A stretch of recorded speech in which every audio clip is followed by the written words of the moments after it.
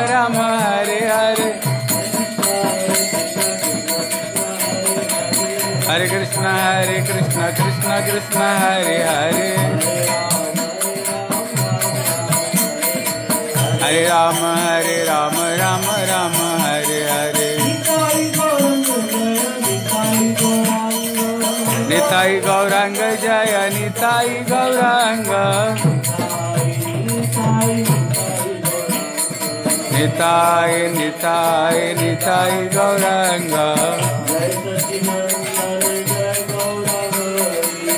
जय सचिनंदन जय जय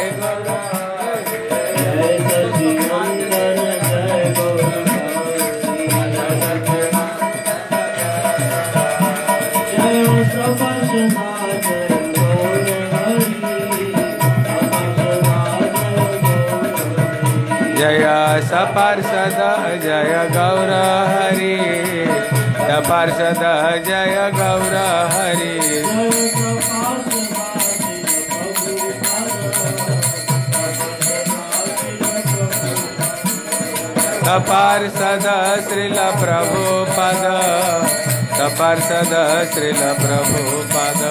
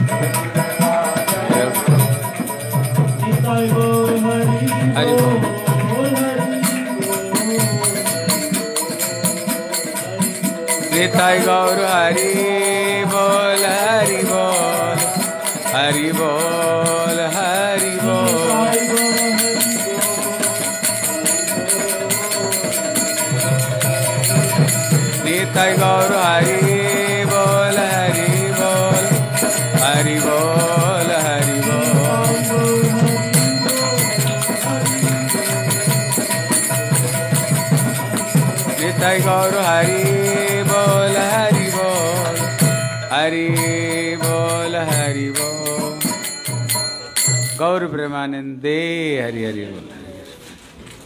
ठीक है? ओम ज्ञानतिमिराम धस्य, सब तेज कर दो ज्ञानांजन शलाकया चक्षुरुन्मिलितं येन तस्मै श्रीगुरवे नमः। गुरवे गौरचन्द्राय राधिकाय यैस्तदालये। कृष्णाय कृष्णभक्ताय तद्भक्ताय नमो नमः। वाञ्छाकल्पतरुर्भ्यश्च कृपा सिन्धुभैव च पतितानां पावनेभ्यो। वैष्णवेभ्यो नमो नमः। आजानुलम्बितभुजौ कनकाबदातौ सङ्कीर्तनैकपितरौ कमलायताक्षौ, विश्वम्भरौ, द्विजवरौ, युगधर्मपालौ, वंदे जगत्प्रियकरौ, करुणावतारौ।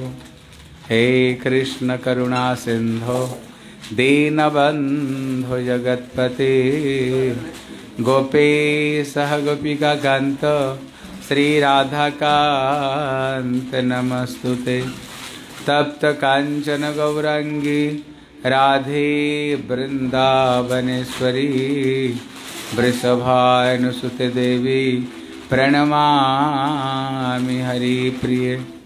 भक्त्या विहीनापराधलक्ष्यै क्षिप्तासि कामादितरङ्गमध्यै कृपामयि त्वां शरणं प्रपन्ना। वृन्दे नमस्ते चरणारविन्दं जय रूप सनातन भट्ट रघुनाथ, श्रीजीव गोपाल भट्टदास रघुनाथ। हे छय गोसाई करी चरणा बंदन जहा है ते विघ्ननाश अभीष्ट पुरण। तमादिदेवं करुणानिधानं तमालवर्णं सुहृदावतारम्। अपार संसार समुद्र सेतुं भजामहे भागवतं स्वरूपं। जं प्रभजन्तमनुपेतमपेतकृत्यं द्वैपायनविरहकातर आजुभाव। पुत्रेति तन्मयतया तरवो विनेदुं स्तं सर्वभूतहृदयं मुनिमानत्वस्मि नारायणं नमस्कृत्य नरं चैव नरोत्तमं। देवीं सरस्वतीं व्यासं, ततो जयमुदिरयेत् श्रीकृष्णचैतन्यप्रभुनित्यानन्द श्री अद्वैत गदाधर श्रीवासादि। गौरभक्तवृंद बोल हरे कृष्ण हरे कृष्ण। कृष्ण कृष्ण, हरे हरे। हरे राम हरे राम राम राम। बोल हरे कृष्ण हरे कृष्ण कृष्ण कृष्ण, हरे हरे। हरे राम हरे राम राम राम, हरे हरे। सर्वप्रथम मेरे गुरुपाद पद्म, नितलीला प्रविष्णु, विष्णु, पाद, अष्टोदर शत श्री श्री श्रीमद भक्ति श्री रूप। सिद्धांति गोस्वामी महाराज के चरण कमल में अनंत कोटि साष्टांग दंडवत प्रणाम करता हूँ। तत्पश्चात मेरे शिक्षा गुरुपाद पद्म, नितलीला प्रविष्ट विष्णु पाद अष्टोदर शत श्री श्री श्रीमद भक्ति वेदांत श्रील नारायण गोस्वामी महाराज के चरणों सरोज में श्रद्धा पुष्पांजलि अर्पण करता हूँ। उपस्थित समस्त वैष्णव वैष्णवियों, माता पिता, भाई बहन, सभी को मैं यथायोग्य प्रणाम करता हूँ। हरे कृष्ण। गतकल हम लोग श्रवण कर रहे थे, श्री परीक्षित महाराज कली को उन्होंने चार स्थान पर उन्होंने चार जगह पर उन्होंने स्थान दिया है। और इसलिए उन्होंने स्थान दिया। देखा, ये जो कलियुग है, ये कलियुग कोई साधारण कलियुग नहीं, ये कलियुग धन्य कलियुग है। इसलिए श्री भक्ति विनोद ठाकुर एक सुंदर कीर्तन लिखते हैं।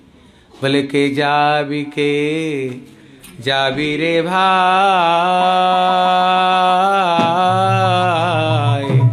भाव सिंधु पार, तोरा के जा बिखे जाबी रे भाई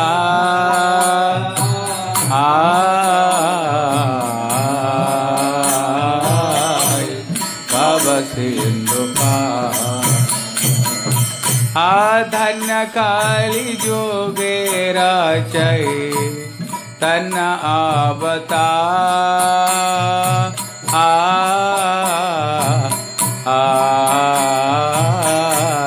तन अवतार तोरा के जाबी के, जाबी रे भा।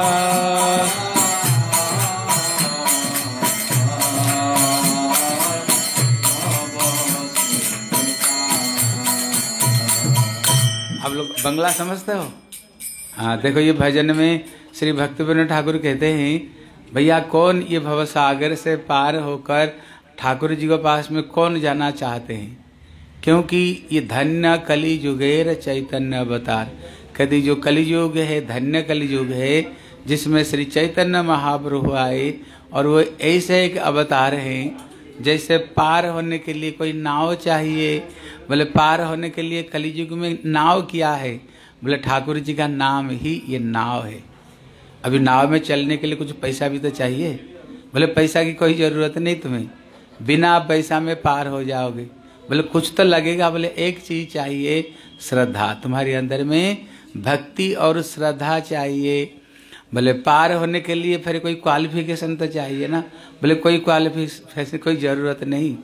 ये बंगला में कहते हैं, जड़, अंध, आतुरा। जड़ मतलब जो एकदम जड़ है। अंध मतलब जो अंध है, जो लंगड़े लुड़े हैं, ये इनको भी पार कर देंगे। बोले, इसका मतलब क्या है?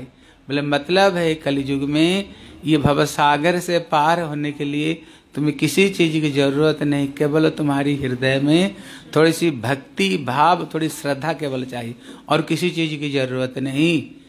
और क्या करो सबके सब? हरे कृष्ण हरे कृष्ण कृष्ण कृष्ण, हरे हरे हरे राम हरे राम राम राम, हरे हरे। बस, इतने सही भव सागर से पार हो जाओगे। इसलिए श्री भक्ति श्री परीक्षित महाराज ने देखा, ये कलियुग में श्री महाप्रभु आएँगे, सबको ऊपर में कृपा करेंगे, सबको हरिनाम देंगे, सबको उद्धार करेंगे। बोले, कौन सा प्रेम देंगे? बोले, अभी भी लक्ष्मी बैल वन में बैठ करके अभी भी वो तपस्या कर रही हैं। जिस प्रेम के लिए लक्ष्मी भी तरसते हैं, जिस प्रेम के लिए उद्धव, ब्रह्मा, नारद, इन्हीं के लिए जो दुर्लभ प्रेम है, उसको महाप्रभु आसानी से दे देंगे। उन्होंने अपना दिव्य दृष्टि से देख करके बोले, भैया, कली यद्यपि ये सारे पाप का जड़, ये कली है, बोले, तू रह जा। तेरे को जाने का ज़रूरत नहीं, तुम रह जाओ इसलिए उन्होंने स्थान दे दिया। बोले, कहाँ कहाँ पर स्थान दिया? बोले, कलयुग में चार नियम को पालन करनी चाहिए। पहला नंबर, जुआ नहीं करनी चाहिए। किसी तरह का नस्ली वस्तु ग्रहण नहीं करनी चाहिए। अवैध रूप में स्त्री, पुरुष पुरुष स्त्री से नहीं मिलनी चाहिए।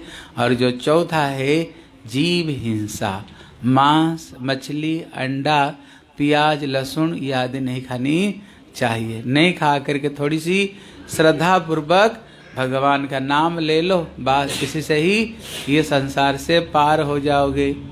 एक दिन से परीक्षित महाराज जंगल में भ्रमण करने के लिए गए थे। आज इतने ज़ोर से उनको प्यास लग रही थी, ज़िंदगी में कभी लगी नहीं। एक ऋषि के आश्रम पर पहुँचे, वो ऋषि सचमुच से प्रभु की भक्ति कर रहे थे। उनको ज़ोर ज़ोर से चिल्ला चिल्ला करके बोले, पानी पानी पानी। लेकिन वो पानी नहीं दिए। क्यों? भजन में बैठे हुए थे। बोले, देश का मैं राजा हूँ और तुम कैसे ऋषि हो? तुम्हारे आश्रम में थोड़े पानी पीने के लिए आया तो तुम पानी भी नहीं दे सकते हो। ले, तेरा उपहार है। वहाँ पर एक मरा हुआ सर्प पड़ा हुआ था। उनको गले में उन्होंने डाल दिया। जब वो चले गए, जब उनकी छोटा बेटा था श्रृंगी ऋषि, उनको पता चलते ही उन्होंने कौशिक नदी की पानी को उठा करके, उन्होंने मंत्र पुत करके बोले, जिस जिस राजा ने मेरे पिताजी के गले में मरा हुआ सर्प डाला, मैं अभिशाप देता हूँ, सप्तम दिवस में उसको तक्षक दंशन करेगा। उनने ये अभिशाप दे दिया। जब अभिशाप दे दिया, आकर के रोने लग गए। उनकी रोने की आवाज़ सुन करके पिताजी की आग खुल गई। तब हमारे टीकाकार लोग कहते हैं, अभी तो परीक्षित महाराज चिल्ला चिल्ला कर करके गला फट गया, तभी इनका आँख ही नहीं खुली। और अपना बेटा आकर के थोड़ी सी रो लिया तो उसका आँख कैसे खुल गई? क्या वो पराया था, वो अपना है? तब इसमें दो कारण कहते हैं। बोले, पहला कारण है इसलिए इनकी नेत्र खुल गई। एक तो परीक्षित महाराज का चरण में इनका अपराध हो गया। क्योंकि परीक्षित महाराज यद्यपि देखने में गृहस्थ है, गृहस्थ परीक्षित महाराज और ये त्यागी है, लेकिन जो भक्ति में ये गृहस्थ त्यागी का कोई विचार नहीं। कहते, जय भजे, सही बड़ा अभक्त ही निचार। भले ही गृहस्थ हो, त्यागी हो, जो जितना भक्ति करता है, वो उतना ही बड़ा है। इसलिए देखो महाप्रभु के अक्सर करके भक्त गृहस्थ में थे। भागवत में जितने सारी कथा, त्यागी का कितना कथा थे बोलो। प्रहलाद महाराज कहाँ पर रहते थे? गृहस्थ थे ना? ध्रुव महाराज, वो भी गृहस्थ। अम्बरीश महाराज, ये भी गृहस्थ। भरत महाराज, ये भी गृहस्थ। गोपियाँ भी गृहस्थ है। लेकिन रहते हुए भी कितने बड़े बड़े भक्त थे। इसलिए जो जहाँ रह करके भक्ति करते हैं, वही बड़ा है। इसलिए कोई ऋषि, कोई भक्त अगर आपके घर में आए, अगर आपके घर से बिना किसी लिए हुए बात चले गई, ये अपराध हो गया। अपराध हो गया तो अपराध होने से भक्त चरण में भक्ति घट जाती है। इसलिए मानो वैष्णव अपराध हो गई, इसलिए इनका आग खुल गई। दूसरा कारण है, अभी ये परीक्षित महाराज को आधार करते हुए कभी ये श्रीमद् भागवत प्रकाशित होने वाले। अगर ये अगर ऐसे ध्यान में बैठ गए तो महीना महीना तक इनकी आँख ही नहीं खोलती थी। फिर ये भागवत ग्रंथ प्रकाशित कैसे होगा? इसलिए जोग माया ने इनके आँख को खोल दिए। देखा, बेटे को रोते हुए देखा, बोले, क्या बात? बोले, ऐसे ऐसे है। बोले, मैं इनको अभिशाप दे दिया। बोले, अभिशाप दे दिया? तुमको पता है परीक्षित महाराज कौन? ये कृष्ण के परम भक्त हैं। भगवान जिनको गर्भ में भी भगवान दर्शन दिया उनको रक्षा किया तो कृष्ण के परम भक्त हैं। वो आश्रम में आए, पानी तो दिया नहीं, उल्टा उनको अभिशाप दे दिया। इसलिए मैं भी सारे ऋषि समाज को, मैं भी सारे ब्राह्मण को अभिशाप देता हूँ। उनका जो अभिशाप में जो शक्ति, सारे शक्ति नष्ट हो जाए। इसलिए तब से सारे ब्राह्मण का जो अभिशाप में जो शक्ति थी व उनकी वरदान में जो शक्ति, उस बाघ शक्ति सबके सब नष्ट हो गया। गौरमुख नाम के एक ब्राह्मण बालव को भेजे, बोले, जाओ श्री परीक्षित महाराज को बोल दो, उनको पास में कुल सात दिन है, ये सात दिन के अंदर में जो कुछ करना, ये कर ले। लेकिन परीक्षित महाराज जब सुने ना, वो दुखी नहीं हुए। सात दिन में मरने वाले दुखी नहीं हुए, सुखी हो गए। बोले, क्यों? बोले, मरने से एक मुहूर्त पहले, कोई बता सकता है मैं मरने वाला हूँ? लेकिन ठाकुर जी की कृपा तो देखो, सात सात दिन पहले मेरे को पता चला। कम से कम सात दिन में ठाकुर जी की कथा सुन करके अपना जीवन को बिताऊँगा। लेकिन उनको पास में इतना शक्ति थी, उन्होंने यज्ञ कर सकते थे, ये सारे सर्पों को मारने वाला यज्ञ भी कर सकते थे। ये अभिशाप को नष्ट करने के लिए उन्होंने, हैं यज्ञ भी कर सकते थे, लेकिन उन्होंने नहीं किया। बोले, क्यों? बोले, ये तो ठाकुर का आशीर्वाद है। कम से कम सात दिन ठाकुर को मैं कथा सुनूँगा। अगर हमें पता चल जाए सात दिन में मरने वाले बताओ क्या करोगे? एक, एक, एक समय क्या हुआ हमारे देश में? किसको पता चला कि स्काई लाइट के कोई कुछ प, प, गिरने वाले मरने वाले? उधर क्या हुआ जितना मुर्गा जितने बकरी ना सब खाना शुरू कर दिया। बोले सात दिन में तो मर जाएँगे। इसे जब मर जाएँगे सारे को सारे खा कर पी करके किसी तरह से खत्म कर दो। हाँ साधारण लोग और सुनते ही तो हम आधा ही मर जाएँगे सुनते ही। लेकिन ये सुख दुखी नहीं हुए, ये सुखी हो गए। बोले, क्यों? बोले, कम से कम भगवान की भजन कथा सुनते हुए ये दुर्लभ जीवन को हम बिताएँगे। तो उन्होंने अपना बेटे को राज सिंहासन में स्थापन करते हुए उन्होंने गंगा किनारे में आश्रय लिया। बोले, कारण है जो गंगा, ये ठाकुर जी की चरणामृत, ये गंगा है। मानो ठाकुर जी के चरणों को उन्होंने आश्रय किए। पहले ये टेलीफोन, टेलीग्राफ नहीं था, लेकिन ऋषि मुनियों के पास में दिव्य ज्ञान होता था। वहाँ पर सारे ऋषि मुनियों को पता चला, अभी श्री सारे अट्ठासी हज़ार ऋषि लोग आएँगे, यहाँ पर भगवान की कथा होगी वहाँ पर अट्ठासी हज़ार ऋषि लोग वहाँ पर उपस्थित हुए। परीक्षित महाराज बोले, मेरे ऊपर में अभिशाप नहीं, आज तो मेरे ऊपर वरदान है। जीवन में एक साधु दर्शन कितना दुर्लभ है। देखो, आज कितने सारे साधु लोग यहाँ पर एकत्रित हुए हैं। बोला, आज तो मेरे जीवन धन्य हो गया। तब ऋषियों को उन्होंने पूछा है, बोले अद्य बा अब्द सतांत बा मृत्यु वही प्राणी नाम दुर्गम। आज हो, नहीं तो कल हो, नहीं तो परसों हो, नहीं तो बरसु हो, सबको एक दिन मरना ही है। जब मरना है, इसका क्या कर्तव्य है? लेकिन नासो मुनिर्जस्य मतम न भिन्नम। वहाँ पर ऐसे कोई ऋषि नहीं था, जिसका मत ही अलग नहीं था। सबके सब कोई यज्ञ, कोई तपस्या, कोई अभिशाप को दूर करने के लिए कोई कह रहे थे, ये मंत्र को जप करो अलग अलग कोई, उनको समाधान का विषय बता रहे थे। परीक्षित महाराज ने देखा बोले, का बरसा जब कृषि सुखाई? कभी ये ऋषि मुनि लोग तो आपस आपस में तर्क वितर्क करने लग गए। मेरे पास में कुल केवल सात ही दिन है। हाँ अगर ये ऐसे आपस आपस में तर्क वितर्क करते हुए अगर समय चला गया तो फिर मेरी क्या होएगी? तब उन्होंने श्री ठाकुर जी के चरण में शरणागत हो गए। बोले, ठाकुर जी, आप ही मेरे को मातृ गर्भ में रखा किया था। अब ऐसे कुछ व्यवस्था करो, जैसे सात दिन में मैं ठाकुर जी की कथा श्रवण करते करते अपना समय को मैं बिता दूँ। इतने में भगवत इच्छा से श्री सुखदेव गोस्वामी प्रकट होते हैं।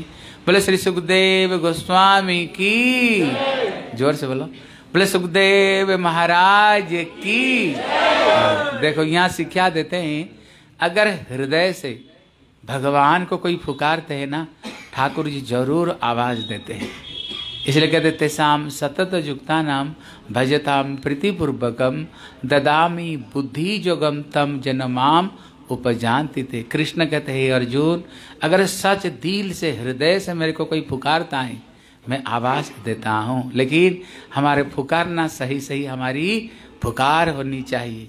इसलिए कहते ना, कोई कहते हैं, भगवान आते नहीं बोले, द्रौपदी जैसे तो बुलाते नहीं।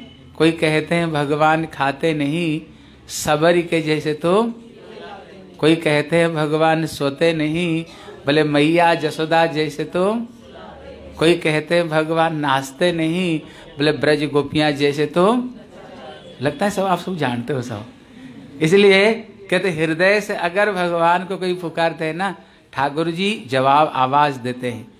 इस जब श्री सुखदेव गोस्वामी प्रकट हुई, जब वहाँ प्रवेश उन्होंने किया, उनका तेज से चतुर्दिग उद्भासित हो रहा था, आलोक आलोकित हो रहा था। वहाँ पर सारे ऋषि लोग समझ गए, ये जो बालक है, ये सही सही उत्तर, यही उत्तर देगा। लेकिन वहाँ पर उनको पिताजी की पिताजी की, पिताजी लोग भी बैठे हुए थे। सुखदेव गोस्वामी का पिताजी कौन है? कौन है? व्यास देव उनका गुरु जी कौन है? श्री हाँ उनका पिताजी पराशर उनका गुरु जी कौन? श्री नारद जी है। कहते उनको गुरु जी की गुरु जी पिताजी की पिताजी वहाँ पर सबके सब बैठे हुए थे। लेकिन उन्होंने गए सबको उन्होंने प्रणाम करते हुए उनने सिंहासन पर बैठ गए। जब बैठ गए इतने में श्री परीक्षित महाराज प्रश्न की झरी लगा दी। अतः पृछा संसिधि जोगिनाम परमम गुरुम पुरुषस्य जत कर्तव्यम म्रियमाण सर्वथा। कहते, हे सुखदेव गोस्वामी, आप कृपा करके ये बताइए, जगत में ऐसे कौन सा वस्तु है जिसको प्राप्त करने का बाद जीव को ऐसे लगे जीवन में हमें सब कुछ मिल गया? जिसको कृष्ण गीता में कहते हैं, जम लब्ध्वा च चापरम लाभम मन्यते अधिकम तथा बोले जिसको पाने का बाद ऐसे लगे जीवन में हमें सब कुछ हमें प्राप्त हो गया है। लेकिन इसी जगत में देखो, किसको पूछ लो? भले अंबानी को पूछ लो, टाटा बिरला को पूछ, क्या तृप्त हो गया इतना पैसा पा करके वो सोचते होंगे, पृथ्वी का सबसे बड़े धनी कभी बनूँगा। इसलिए बोले, राजा कहे महाराज सुखी महाराज कहे सुख, इंद्र को भारी। इंद्र कहे चतुरानन को सुख। चतुरानन कहे सुख शिव को भारी। इसलिए विष्णु के भारी। लेकिन तुलसीदास विचार कहे, कृष्ण भजन बिना सब दुख भिखारी ये जगत में कोई भी तृप्त नहीं। किसी को पूछ लो, भले ही जितने गाड़ी हो, बाड़ी हो, जितने तुम्हारी फैक्ट्री हो, किसी को पूछ लो क्या तुम तृप्त हो गए हो? कोई बोलेगा, नहीं, मैं तृप्त हो गया। इसलिए इनका यही प्रश्न है, जगत में से कौन सा वस्तु है जिसको पाने के बाद जीव को ऐसे लगे, जीवन में हमें सब कुछ चीज़ हम जीवन में प्राप्त हो गया है, हैं? इसलिए पुरुष से जत कर्तव्यम। ये प्राणी मात्र का क्या कर्तव्य है? क्या अकर्तव्य है? आप कृपा करके हमें सारे बात को आप कृपा करके हमें बताओ। तब श्री सुखदेव गोस्वामी बोले परीक्षित जैसा आपका घर में कोई आएगा, आप पहले क्या करोगे? उनको बैठाओगे, पानी पिलाओगे, खिलाओगे, पिलाओगे, फिर पूछोगे, भाई, किस लिए आए हो? ऐसे नहीं, कोई आते ही, क्या बात है? किस लिए आए हो? कहते अभी मेरे शरीर से पसीना भी सुखाए नहीं, और तुमने प्रश्न की झरी क्यों लगा दी? बोले, मेरे को पता है, आप जैसे शरीर संत लोग एक गृहस्थ घर में कितना समय तक टिकते हैं? बोले गो दोहन करने में जितने समय लगता है, उससे ज़्यादा समय आप नहीं टिकते हो। मेरे को पता, अब आए, अभी अभी चल पड़ोगे। लेकिन आपको प्रश्न करके मैंने आपको बाँध दिया। अब जब तक आप उत्तर नहीं दोगे, तब तक यहाँ से आप नहीं जाओगे। इसलिए मैंने आपको ये प्रश्न किया। अब प्रेम से अभी उत्तर देते रहो। अब इनका प्रश्न सुन करके श्री सुखदेव गोस्वामी प्रसन्न हो गए। बोले, बरियान ऐसते प्रश्न कृतलोक हृतम नृपम। भले महाराज आप जो प्रश्न किया है ना, ये जगत कल्याण के लिए प्रश्न किया। ये प्रश्न आपके लिए नहीं है। परीक्षित महाराज तो ठाकुर का नित्य सिद्ध परिकर है उनके लिए ये प्रश्न नहीं, ये प्रश्न हम लोगों के लिए ये प्रश्न है। इसलिए जिस प्रश्न को आत्मबीत सन्मत पुंसाम, जो आत्मा में रमण करने वाले व्यक्ति, ये लोग भी तुम्हारी प्रश्न को आदर करेंगे। तो उन्होंने इसका उत्तर देते हैं। बोले निद्रया नक्तम, व्यवाय न चबाभयम दिवाच अर्थ है राजन, कुटुंब भरण कहते परीक्षित लोग ये मानव शरीर पा करके कुल चार काम करते हैं। बोले दिन में दो काम करते हैं और रात को दो काम करते हैं। बोले दिन में दो काम क्या करते हैं बोले पैसा कमाओ और उसको द्वारा परिवार को मेंटेनेंस करो। बोले रात में विषय भोग करो और बच्चों को जन्म दो। हाँ ये सोना और बच्चे जन्म देना, केवल ये चार ही काम करके ये जीवन को नष्ट कर देते हैं। लेकिन परीक्षित ये बताओ, ये चार काम कौन नहीं करता है? ये गधे कुत्ते सुअर क्या ही काम नहीं कर रहे। विचार करके देखोगे ये हमसे बड़े एडवांस है। हैं? हम तो खाने के लिए पच्चीस साल तक पढ़ाई करते हैं। आठ, दस घंटा काम करते हैं, फिर पैसा कमा करके, फिर खाना पीना को संग्रह करते बताओ, ये कुत्ते, सुअर, गधे कौन सा यूनिवर्सिटी में गए, कौन सा काम कर रहे सब के सब? वो तो घूमते रास्ता में अपने आप खाने, अपने आप उनका खाना मिट मिट, उनको मिल जाता है। सोने के लिए हमें डल्लम गद्दी चाहिए, फिर एयर कंडीशन रूम चाहिए, तभी कोई टेंशन होगा तो टैबलेट खाने पर भी हमको नींद नहीं आती होगी। और देखो, सुअर को, कुत्ते को आराम से जहाँ तहाँ सो जाते हैं और हमें खाने के लिए कितना कष्ट करना पड़ता है, तभी आहार को जुटाते हैं। इसलिए कहते, बच्चे जन्म देना, हमारे साल में कितना बच्चा होता है? एक, नहीं तो दो हो गया। सुअर को देख लो, एक दर्जन से कम नहीं देता है बच्चे। हैं? आप मुर्गा को देखो एक साथ में इक्कीस इक्कीस बच्चा देता है। कोई भी जानवर को देख लो आशा कितने बच्चे जन्म देते हैं? इसलिए कहते जो काम करके ये इन, ये इंसान अपना को बड़ा सक्सेसफुल सोचते हैं कहते तो गधे कुत्ते सुअर भी तो ये सब काम कर रहे हैं। तुमने कौन सा बड़ी भारी तीर मार दिया? तुमने बाण मार दिए। इसलिए हे परीक्षित महाराज अगर ये जीवन पा करके भगवान की भजन नहीं किया तो हम जानवर से भी गया बीता है। जानवर से भी गया बीता है, इसलिए तस्मात सर्वात्मना राजन, भगवान हरि ईश्वर श्रोतव्य कृतितव्य से स्मर्तव्य इच्छता भयम। अगर जीवन में कोई अभय पाना चाहते हैं, उसको क्या करनी चाहिए? बोले, तस्मात सर्वात्मना राजन, भगवान हरि ईश्वर। यहाँ पर भक्ति दो तरह का भक्ति है। एक वैधि भक्ति और एक राग भक्ति। भक्ति दो तरह का भक्ति है। इसलिए जो वैधि भक्ति जाजन करते हैं, वो भगवान को ईश्वर मान करके ये वैधि भक्ति करते हैं। लेकिन जो राग भक्ति करते हैं, जो स्वाभाविक रूप में भक्ति है, ये भगवान कृष्ण को यहाँ ये हरि को, ये लोग भक्ति करते हैं। बोले, भक्ति कैसे करते हैं? बोले, श्रोतव्य कृतितव्य स्मर्तव्य इच्छता भयम। कहते, भक्ति, ये तीन तरह का है, श्रवण, कीर्तन और स्मरण। वैसे भक्ति तो चौसठी भक्ति का अंग है। अगर उसको सारांश रूप में ले, लो तो वो नौ तरह का भक्ति है। अगर उसको सार रूप में ले तो पाँच तरह का भक्ति है। अगर उसको सार रूप में ले तो तीन भक्ति है, श्रवण, कीर्तन और स्मरण। लेकिन अगर उसको सार रूप में लेंगे तो जो सर्वश्रेष्ठ भक्ति है, भगवान की कीर्तन है। भगवान की कीर्तन, देखो, श्रवण, कीर्तन, स्मरण, लेकिन बीच में कीर्तन को रखा। बोले, क्यों? ये जो कीर्तन है, जब कीर्तन करोगे, ये श्रव, वही तो कान में जाएगा, श्रवण होगा, और जो श्रवण करोगे, वही तुम्हारी स्मरण होगा। इसलिए श्री चैतन्य महाप्रभु कहते हैं, परम विजय श्री कृष्ण संकीर्तनम। कलि युग में जो भगवान का कीर्तन भक्ति, ये सर्वश्रेष्ठ भक्ति है। हैं? कीर्तन करने से कहते, सकल साधन श्रेष्ठ यही पंचांग भजन मध्य श्रेष्ठ नव विद्या भक्ति, कृष्ण प्रेम, कृष्ण दिते धरे महाशक्ति, तार मध्य सर्वश्रेष्ठ नाम संकीर्तन निरपराध नाम लैले पाए प्रेम धन। अगर ये हरिनाम संकीर्तन एक भक्ति को, अगर निरपराध को साथ में करोगे तो बस तुमको कृष्ण प्राप्ति हो जाएगी। इसलिए कलयुग में जो सर्वश्रेष्ठ भक्ति है कलिजुग के बलना माँ आधारा। कलिजुग के बलना माँ आधारा।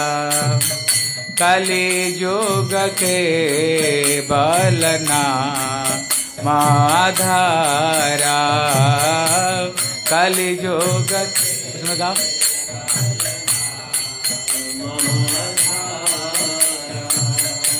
सुमेरे सुमेरे नर, उतर ही पारा।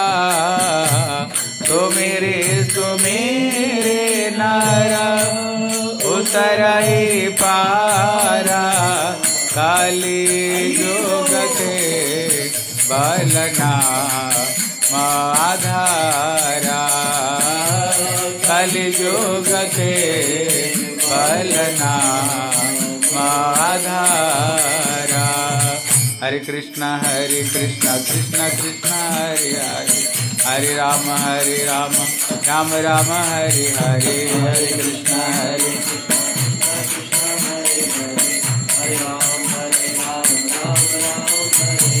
हरे कृष्णा हरे कृष्णा कृष्णा कृष्णा, हरे हरे। हरे राम हरे राम राम राम, हरे हरे।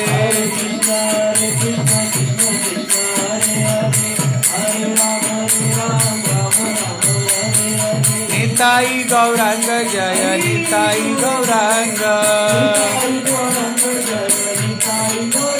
हाँ देखो, जो आज जो तिथि है ना, आज कौन सा तिथि है? हाँ मक्सदा एकादशी। ये जो जो एकादशी, इसको एक, सुना, ये जो एकादशी को बताया, ये कल्पतरु व्रत है। कल्पतरु व्रत मतलब क्या? ये एकादशी व्रत करते हुए आप जो कुछ मांगोगे, एकादशी सारी इच्छाओं को पूरी करने वाले। जैसे हमारे भारत में माताएँ कोई सोमवार शिव के लिए करते हैं, कोई मंगलवार करते हैं, हनुमान के लिए, कोई गणेश जी के लिए अलग अलग अलग अलग व्रत करते हैं। अलग अलग वस्तु के लिए अलग अलग व्रत करते हैं। लेकिन ये एकादशी ऐसे के व्रत है, कहते इसको व्रत करते हुए आप जो कुछ मांगोगे ये एकादशी व्रत आपकी सारी इच्छाओं को एकादशी व्रत पूरी करने वाले। इसलिए आज जो एकादशी व्रत है, इसका नाम मोक्ष, मोक्षदा एकादशी। ये एकादशी व्रत करने से जीव, ये जन्म मृत्यु का चक्कर से चिरकाल के लिए इसको मुक्ति मिल जाएगी। इसलिए इसका नाम मोक्ष एकादशी व्रत है। एक एकादशी का व्रत पुत्रदा, जिसको घर में पुत्र संतान नहीं हो रही है। पहले नंद बाबा का घर में पुत्र संतान नहीं था। उनने सोचे हमने सारे व्रत कर लिया। जितने व्रत था नंद बाबा ने, जसोदा ने, कृष्ण के लिए, पुत्र के लिए सारे व्रत रख लिया। कहते अभी तक की घर में संतान नहीं हुई। अभी तक हमने एक ही व्रत नहीं रखा, ये पुत्रदा एकादशी व्रत नहीं रखा। चलो हम दोनों ये पुत्रदा एकादशी व्रत रखते हैं। जब उन्होंने पुत्रदा एकादशी व्रत देखा ना, फिर उनको घर में कृष्ण जन्म हुए। इसलिए एक एकादशी का नाम पुत्रदा और एक का नाम अर्नदा अर्नदा मतलब क्या है? जिनके घर में अन्न की कमी है, अन्न की कहते ये एकादशी व्रत कर घर में खूब अन्न आएगी।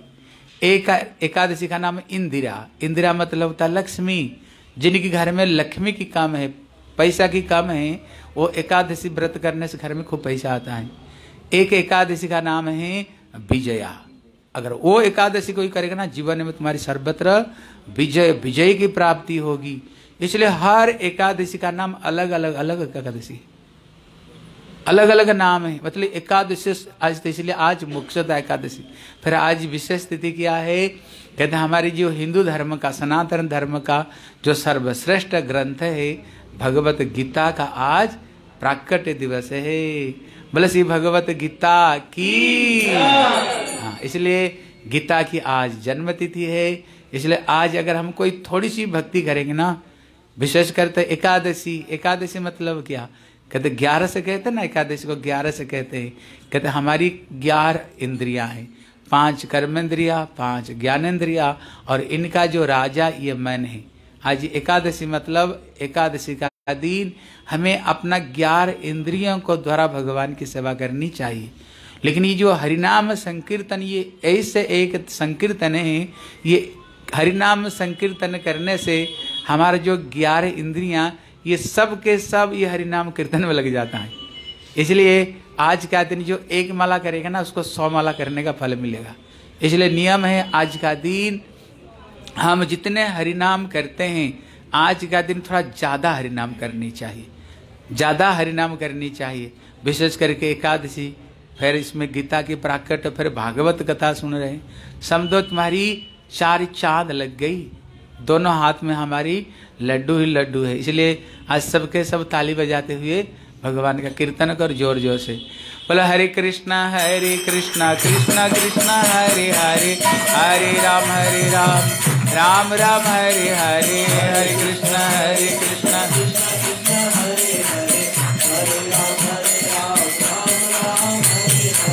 हरे कृष्णा हरे कृष्णा कृष्णा कृष्णा, हरे हरे हरे राम हरे राम राम राम हरे हरे।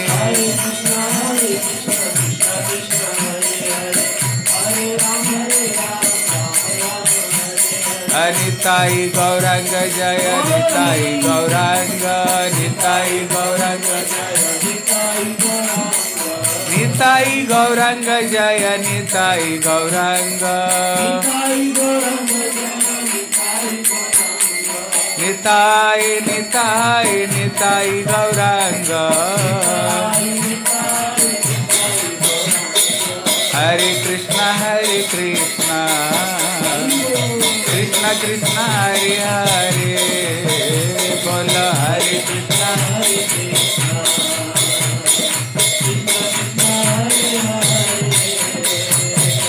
हरे राम हरे राम। राम राम हरे हरे। हरे राम हरे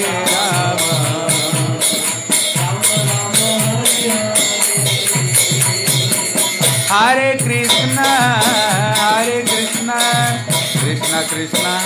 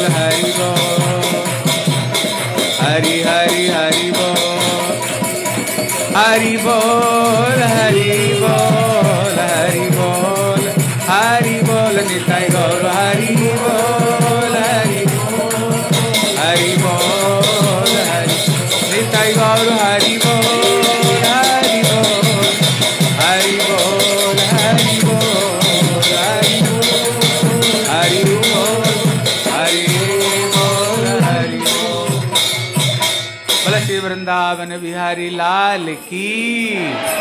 श्री सुत गोस्वामी कहते सौन का ऋषियों हमें ये जो इंद्रिय मिला है, अगर ये इंद्रियों को द्वारा इंद्रियाधिपति भगवान की, जब तक सेवा नहीं करेंगे, ये इंद्रिय की वृथा है। बोले भगवान ने दोनों हाथ क्यों दिया है? बोले, ठाकुर की सेवा करने के लिए। कहते, अगर यहाँ से यहाँ तक सोने की कंगन पहने हुए, लेकिन इन्हीं हाथों से ठाकुर को सेवा नहीं करते हैं, कहते, सबो करो बा कुरुत सपर्जा हरे लसत कांचन कंकणों बा। कभी ये जो हाथ है, कहते, ये मरा हुआ हाथ है। अगर इन्हीं हाथों से सारा दुनिया की तो सेवा करते हैं, लेकिन ठाकुर की सेवा नहीं करते हैं। कहते इन्हीं हाथों से पूर्वजों को जब हम कोई पिंड देते हैं, वो पिंड ग्रहण नहीं करते हैं। बोले, क्यों? बोले, तुम तो ठाकुर को सेवा नहीं कर रहे हो। तो मरा हुआ हाथ है।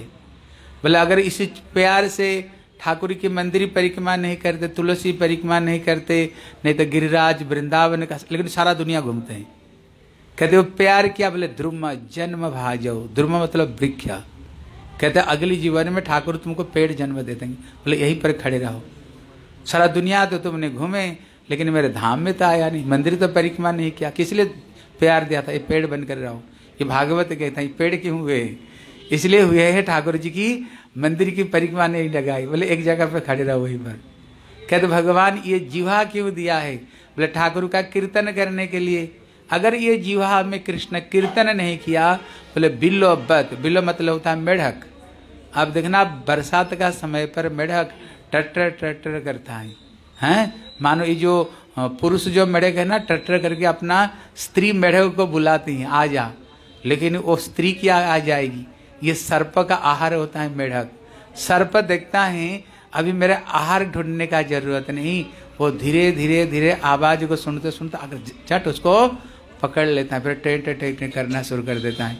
कहते, जो व्यक्ति ये जुहा पा करके भगवान का कीर्तन नहीं किया, वो जुहा मेढक की जीवा के बराबर है। बोले, भगवान ये कान क्यों दिया है? बोले, ठाकुर की कथा सुनने के लिए। सारा दुनिया का तो दुनिया की बात तुमने सुनी, लेकिन भगवान की कथा नहीं सुनी। बोले, कान क्या है? बोले, ये कान नहीं, ये दो बील है। जिस बील में काल रूपी सर्प जिसमें निवास करता है। बोले ठाकुर जी आँखें दिए हैं। बोले, किस लिए? बोले गोविंद देव का दर्शन करने के लिए। लेकिन दिन भर तो टीवी देखते रहा हाँ फ़िल्म देखते रहा, लेकिन इन आँखों से तुमने ठाकुर को नहीं देखा। कहते, ये क्या? बोले बरा ही ते ते नयने। कहते, मोर पंख में भी बड़े सुंदर सुंदर आँख हैं। वो आँख नहीं, वो पांख हैं, जिसे आँखों से हम ठाकुर जी को दर्शन नहीं करते हैं। इसलिए कहते, तभी ये इंद्रिया की सार्थकता है। जब ये इंद्रियों को हम ठाकुर जी की सेवा में लगा दे, नहीं तो ये इंद्रिया हमारी बेकार है। तब वो कहते हैं कि देखो, इसी जगत में लोग अलग अलग वस्तु को पाने के लिए अलग अलग देवता को पूजा करते हैं। जैसे लक्ष्मी लक्ष्मी को पाने के लिए हम किसको पूजा करते हैं? माँ लक्ष्मी को पूजा करते हैं। बोले, विद्या प्राप्ति करने के लिए बोले, माँ सरस्वती को पूजा करते हैं। कहते हैं, हम धन और हम सुंदर शरीर के लिए बोले, कार्तिक को उपासना करते हैं। कहते, सुंदर भोजन के लिए, कहते, श्री अदिति देवता को बोले, सुंदर स्त्री के लिए बोले, गंधर्वियों को, वहाँ अलग अलग देवता को नाम दिया है। ये चीज़ पाने के लिए, ये देवता को, ये चीज़ पाने के लिए, ये देवता को। तब श्री परीक्षित महाराज प्रश्न करते हैं बोले, सुखदेव गोस्वामी, आपके पास में ऐसे कोई देवता क्या है जो एक देवता को पूजा करो सब मिल जाएगा? बोले, ऐसे देवता भी है। फिर आप इतने अलग अलग देवता का नाम क्यों बता रहे हो? वो देवता का नाम बोलना, जो एक देवता को पूजा कर जीवन में सब कुछ मिल जाएगी। बोले, अकाम सर्व काम बा, मोक्ष काम उदारधि तीव्रेण भक्ति योगेन जजेत पुरुषम परम बोले, अकाम। अकाम मतलब जो निष्काम होकर के भक्ति करना चाहते हैं। सर्व काम बा, सब कुछ चाहते हैं। हमें धन, दौलत, पुत्र, परिवार, विद्या, सब कुछ हमें चाहिए। दुनियादारी सर्व काम बा। बोले, मोक्ष काम। अगर संसार से कोई मुक्ति पाना चाहते हैं, किसको भजन करनी चाहिए? बोले, गोविंद देव को भजन करो। ये गोविंद देव ऐसे के देवता है जो एक देवता को पूजा करो ना सब कुछ तुम्हें प्राप्त हो जाएगी। तुम्हें इधर उधर कहीं भटकने का कोई ज़रूरत नहीं। ये गोविंद देव की इतने महिमा है। बोले, श्री गोविंद भगवान की ज़ोर से बोलो। बोले, श्री गोविंद देव की देखो, यहाँ पर सुखदेव गोस्वामी एक अच्छी बात बताते हैं। बोले, देखो, दूसरे देवा देवी की जैसे पूजा करोगे ना कुछ वस्तु तो मिलेगा, लेकिन थोड़ी समय के लिए। वो जो वस्तु भी मिलेगा ना, संसार का बंधन का विषय मिलेगा। लास्ट में तुमको माया में बंधन डाल देगा। लेकिन अगर भक्ति करना तो अगर ये गोविंद देव को भक्ति करोगे, उदाहरण देकर समझाए, जैसे कुछ लोग का भावना है, भैया, हमको तो स्त्री, पुत्र, परिवार, ये दुनिया की चीज़ हमें चाहिए। इसलिए ये देवा देवी तो ये सब चीज़ दे देते हैं। लेकिन जो गोविंद देव नारायण राम को उपासना करते हैं और विशेष करके मुक्ति पाने के लिए ये सबके सब प्राप्त करते हैं। लेकिन भैया, हमको तो मुक्ति नहीं चाहिए। हमें तो अच्छे स्त्री, पुत्र, परिवार, दुनियादारी हमें चाहिए अभी। इसलिए वो क्या करते हैं? दूसरे देवा देवी को पूजा करते लेकिन यहाँ मना कर देते नहीं, पूजा दूसरे देवा देवी को मत करो। उदाहरण देकर समझाए, जैसे ध्रुव महाराज। ये ध्रुव महाराज जब तपस्या करने के लिए क्यों गए थे? जब माँ की गोद में बैठ, पिताजी की गोद में बैठने के लिए गए, उनकी जो छोटी माता थी, उन्होंने भर्त्सना की। पहले अगर तू पिताजी का गोद में बैठना चाहते हो, पहले क्या करो? भगवान की तपस्या करो, इस शरीर छोड़ो।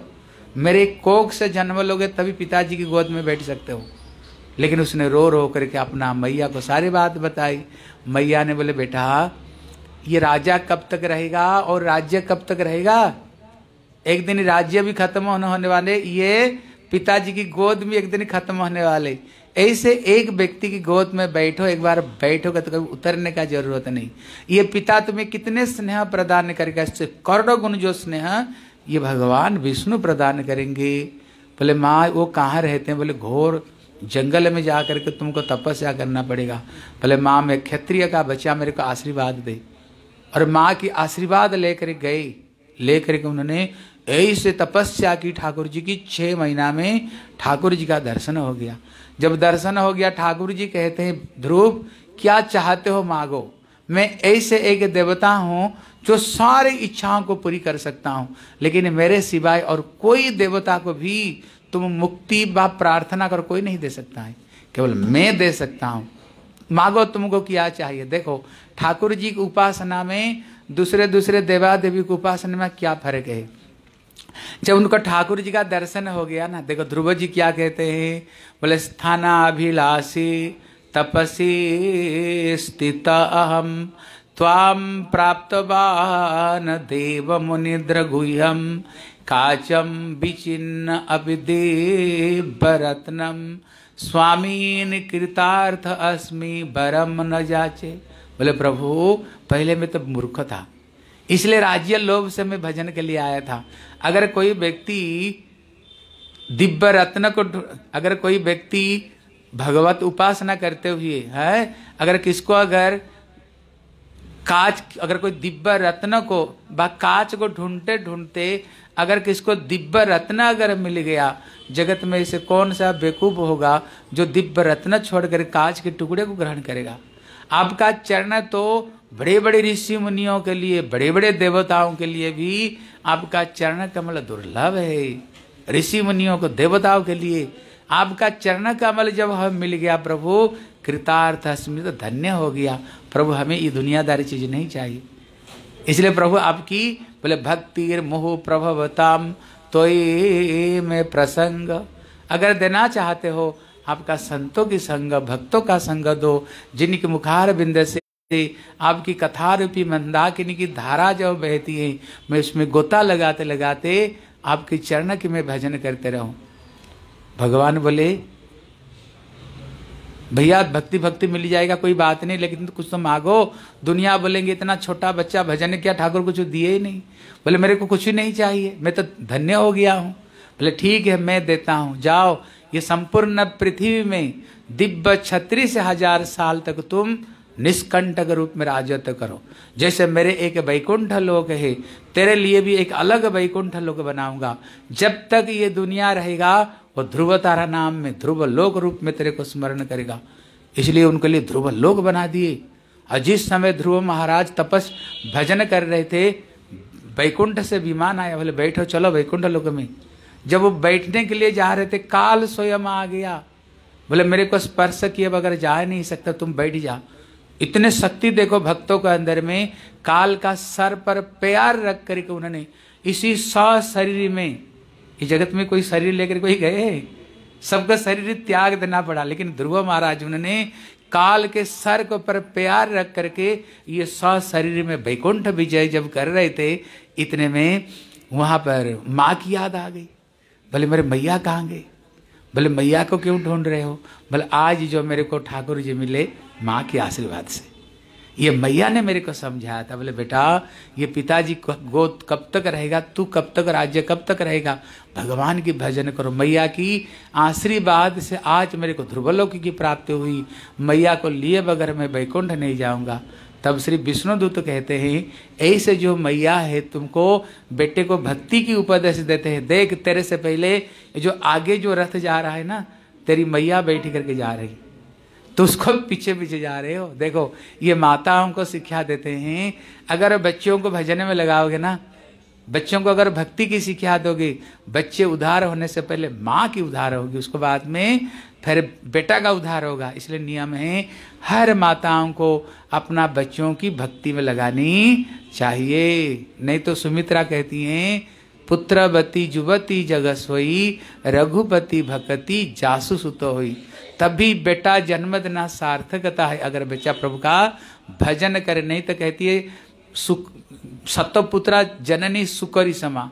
सुअर क्या बच्चे जन्म नहीं दे रहे? सुअर क्या बच्चे जन्म नहीं दे रहे? अगर तुमने, बताओ गांधारी का कितना बेटे थे? बोलो। गांधारी के कितना बेटे थे? और कुंती के कितना बेचे थे? पाँच। देखो जगत में किसका नाम होता है? गांधारी की ना, कुंती की। किसका होता है? कुंती की होती है। गांधारी की नहीं होती हैं, क्योंकि ये कोई भी कृष्ण भक्ति नहीं करते थे। लेकिन कुंती के पाँच के पाँच बेटे सबके सब भगवान की भक्ति किए भजन किए इसलिए कहते हैं, बच्चे देना तभी सार्थकता है, जब बच्चियों को प्रभु के भजन में लगाओगे। नहीं तो यहाँ सुमित्रा कहती हैं, हमें बांझ रहनी चाहिए। अगर बच्चों को प्रभु का भजन में नहीं लगाया तो कहते माता को बांझ रहनी चाहिए। तुम बच्चे जन्म देने का कोई अधिकार नहीं। क्यों बच्चे जन्म दोगे? किस लिए बच्चे जन्म दोगे तुम? इसलिए तभी बच्चे जन्म दो, प्रभु की जब भजन में लगाओगे। इसलिए ध्रुव महाराज सशरीर में उन्होंने जब वैकुंठ विजय किया, उसी समय श्री नारद जी, हैं, नाच नाच करके, बिना बजा बजा कर कीर्तन कर रहे थे। बोले, गोविंद, जय जय, गोपाल, जय जय, गोविंद बोल गोविंद, जय जय गोपाल, जय जय गोविंद। जय जय राधा रमण, हरि गोविंद, जय जय। बोल गोविंद, जय जय गोपाल, जय जय। जय जय राधा रमण हरि गोविंद जय जय राधा बोल गोविंद जय जय गोपाल जय जय गोविंद जय जय बोल गोविंद जय जय गोपाल जय जय जय जय राधा रमण हरि हरि गोविंद देखो इसमें देखो इसमें शिक्षा क्या विषय क्या है? देखो, जब उन्होंने भगवान को आराधना करने के लिए गए थे, पूरा कामना वासना को लेकर गए, छोड़कर नहीं गए थे। लेकिन ठाकुर जी की भक्ति करने का एक विशेष महत्व है। क्या महत्व है? भगवान खुद कहते हैं, जो जो जीव है, वो मूर्ख है, अज्ञा है लेकिन मैं तो पंडित हूँ ना। मैं तो मूर्ख नहीं। अगर मेरी भक्ति अगर कोई करता है, कामना वासना को ले करके मैं क्या करता हूँ? जब वो मुझे प्राप्त करता है, उसका हृदय के सारे कामना वासना को मैं दूर कर देता हूँ। दूर करके उसका हृदय में प्रेम को प्रदान करता हूँ। इसलिए देखो, ध्रुव जी गए थे तपस्या करने के लिए, राजा बनने के लिए, माँ को राजमाता बनाने के लिए। लेकिन जब ठाकुर का दर्शन किया क्या हुआ? सारी कामना पूरी हो गई। खत्म हो गई। और ठाकुर जी क्या दिया उनको बताओ? पूरा पृथ्वी की राज्य तो प्रदान की। केवल इतना नहीं, उसको बाद में उनको अपना एक अलग वैकुंठ बनाया। लेकिन देवादेवी की भक्ति में क्या होता है? देवादेवी की भक्ति में अगर उनको पूजा करोगे, ये दुनियादारी वस्तु के लिए ना, वो तो थोड़ी मोटी दे देंगे, लेकिन संसार का बंधन में बाँध देंगे। ये संसार से निकल नहीं सकते हो। इसी माया के चक्र में तुम पड़ते रहोगे। क्योंकि कारण क्या बोले? कारण है, ये जो भगवान, जो गोविंद देव है, जो भगवान कृष्ण राम है, वो हमारे पिता है, वो हमारी माँ है। कहते ना तो वो माता च, पिता तो मैं वो हमारी माँ है। उदाहरण दिया, जैसे एक बच्चा सौ रुपया लेकर के अपना माँ को पास में गए, बोले माता जी मेरे को बीस दो। मैया क्या बोलेगी बोले, बेटा, बीस क्या करोगे? बोले, खाऊँगा। मैया थप्पड़ लगे। बोले, बीस कोई खाने का चीज़? ले, लड्डू खा ले, मिठाई खा ले, लेकिन अगर किसी दुकान में सौ रुपया लेकर के जाए, बोले, मेरे को सौ रुपया की जहर दे दो। दुकानदार पूछेगा उसका पैसा से मतलब उसको पैसा लेकर सौ रुपया की, उसको बीस जहर दे देगा। बोले, ये जितने देवा देवी है, ये हमारे साथ में कोई इनकी मतलब नहीं, संबंध नहीं। इसलिए ये दुनियादारी की जहर दे करके संसार में बाँध देते हैं। लेकिन जो गोविंद देव, ये हमारी माता है, माँ है। इनसे अगर जहर मांगेंगे तो जहर नहीं देगी। वो क्या देगी? हमें लड्डू मिठाई देगी। इसलिए यहाँ पर कहते हैं, अकाम सर्व काम बा, मोक्ष काम उदार दी सारी कामना वासना लेकर के हो, कामना वासना रहित तो हो करके हो। अगर मुक्ति भी पाने के लिए चाहते हो, किसकी पूजा करो? केवल गोविंद देव की भक्ति करो। और किसी देवा देवी को पूजा नहीं करो। बोले श्री भगवान, गोविंद देव की। बोले श्री भक्तवत्सल भगवान की। जय जय श्री राधे। निताई गौर प्रेमानंदे हरी हरी बोल। तब यहाँ से अब ये सृष्टि का प्रारंभ हो रहा है। भगवान की नाभि कमल से सर्वप्रथम ब्रह्मा जी सृष्टि हुए। जब सृष्टि हुई चारी तरफ़ में पानी पानी देखा। बोले, मेरी सृष्टि कहाँ से हुई? कमल नाड़ में हज़ार साल तक घूमते रहे, पता ही नहीं चला। जब फिर ऊपर में उठे, उनको व्यंजन वर्ण का सोलहवा और इक्कीसवा उनके शब्द सुने। अक्षर सुन, बोले, त और प। बोले, तुम तपस्या करो। जब ब्रह्मा जी तपस्या किए, तब भगवान ने, बोले ज्ञान में परम गुहम जद विज्ञान समन्वितम सह रहस्यंच तदगंच गृहाणम गदितम मैया। भगवान ब्रह्मा जी को कान में हम लोग जो गोपाल मंत्र पढ़ते हैं ना, गोपाल मंत्र हम लोग जब करते गोपाल मंत्र कहाँ से मिला ब्रह्मा जी को? सर्वप्रथम भगवान अपना बंसी ध्वनि से ये गोपाल मंत्र काम गायत्री उन्होंने ब्रह्मा जी को कान में दिया है। हैं? ब्रह्मा जी को कान में दिया। ब्रह्मा जी इसी मंत्र की प्रभाव से उनने, ये जगत को उन्होंने सृष्टि किया है। ये जगत को उन्होंने सृष्टि किया है। इसलिए नियम क्यों कारण किया है? हमें ये गुरु परंपरा क्यों ग्रहण करनी चाहिए? कारण किया है। इसलिए पद्म पुराण में कहते हैं, संप्रदाय विहीना जे मंत्रास्ते है विफला मता अतः कलौ भविष्य चतवार संप्रदाय इसका तात्पर्य है, अगर ये कलयुग में भगवान खुद कहते हैं अगर मेरे पास में कोई आना चाहता है, अगर कोई भगवत प्राप्त करना चाहते हैं, ये कलयुग में मैं चार श्रेष्ठ वैष्णव को कलयुग में भेजूँगा। और इनको पास में मैं चार नाव दूँगा। अगर इनको पास में कोई एक को पास में आओगे, ज़रूर ये भवसागर से पार हो जाओगे। अगर ये चारों को छोड़ कर अगर अन्य कहीं जाओगे ना, तुमको भगवत प्राप्त नहीं होगा। शास्त्र पद्म पुराण स्वयं कहता है। इसलिए अभी हमें जो मंत्र कहाँ से मिली है? सर्वप्रथम ये मंत्र ब्रह्मा जी को उन्होंने भगवान स्वयं प्रदान किया। गोपाल मंत्र काम गायत्री। फिर ब्रह्मा जी किसको दिए? नारद जी को दिए। पहले नारद जी, फिर व्यास देव को। व्यास देव मध्वाचार्य को। ऐसे करते करते ही अखंड रूप में गुरु परम्परा माध्यम से ये गोलोक वृंदावन से ये धीरे धीरे धीरे धीरे ये मंत्र ये हमारी पास में आई अगर सही लाइन में खड़े रहोगे ना, भले ही देर क्यों नहीं हो एक दिन ना एक दिन तुम्हारे नंबर आएगी। अगर गलत रास्ता में, अगर लाइन में खड़े हो जाओगे अब ज़िंदगी भर खड़े रहोगे, लेकिन तुम्हारी लाइन आएगी नहीं। इसलिए हमें कोई शुद्ध वैष्णव परंपरा में ही हमें जोड़नी चाहिए। इसलिए उन्होंने, ब्रह्मा जी को उन्होंने सारे तत्व ज्ञान उन्होंने प्रदान किए और उनने जगत को उन्होंने सृष्टि किए। ब्रह्मा जी सर्वप्रथम अपना मन से उन्होंने चतुसन को उन्होंने सृष्टि की। ये ब्रह्मा की ये मानस पुत्र है। बोले बच्चों भगवान का निर्देश है, ये संसार का क्रिया को सृष्टि करो। बोले, पिताजी, घर संसार बड़ा दुखमय है। हम ये घर गृहस्थ में फंसना नहीं चाहते।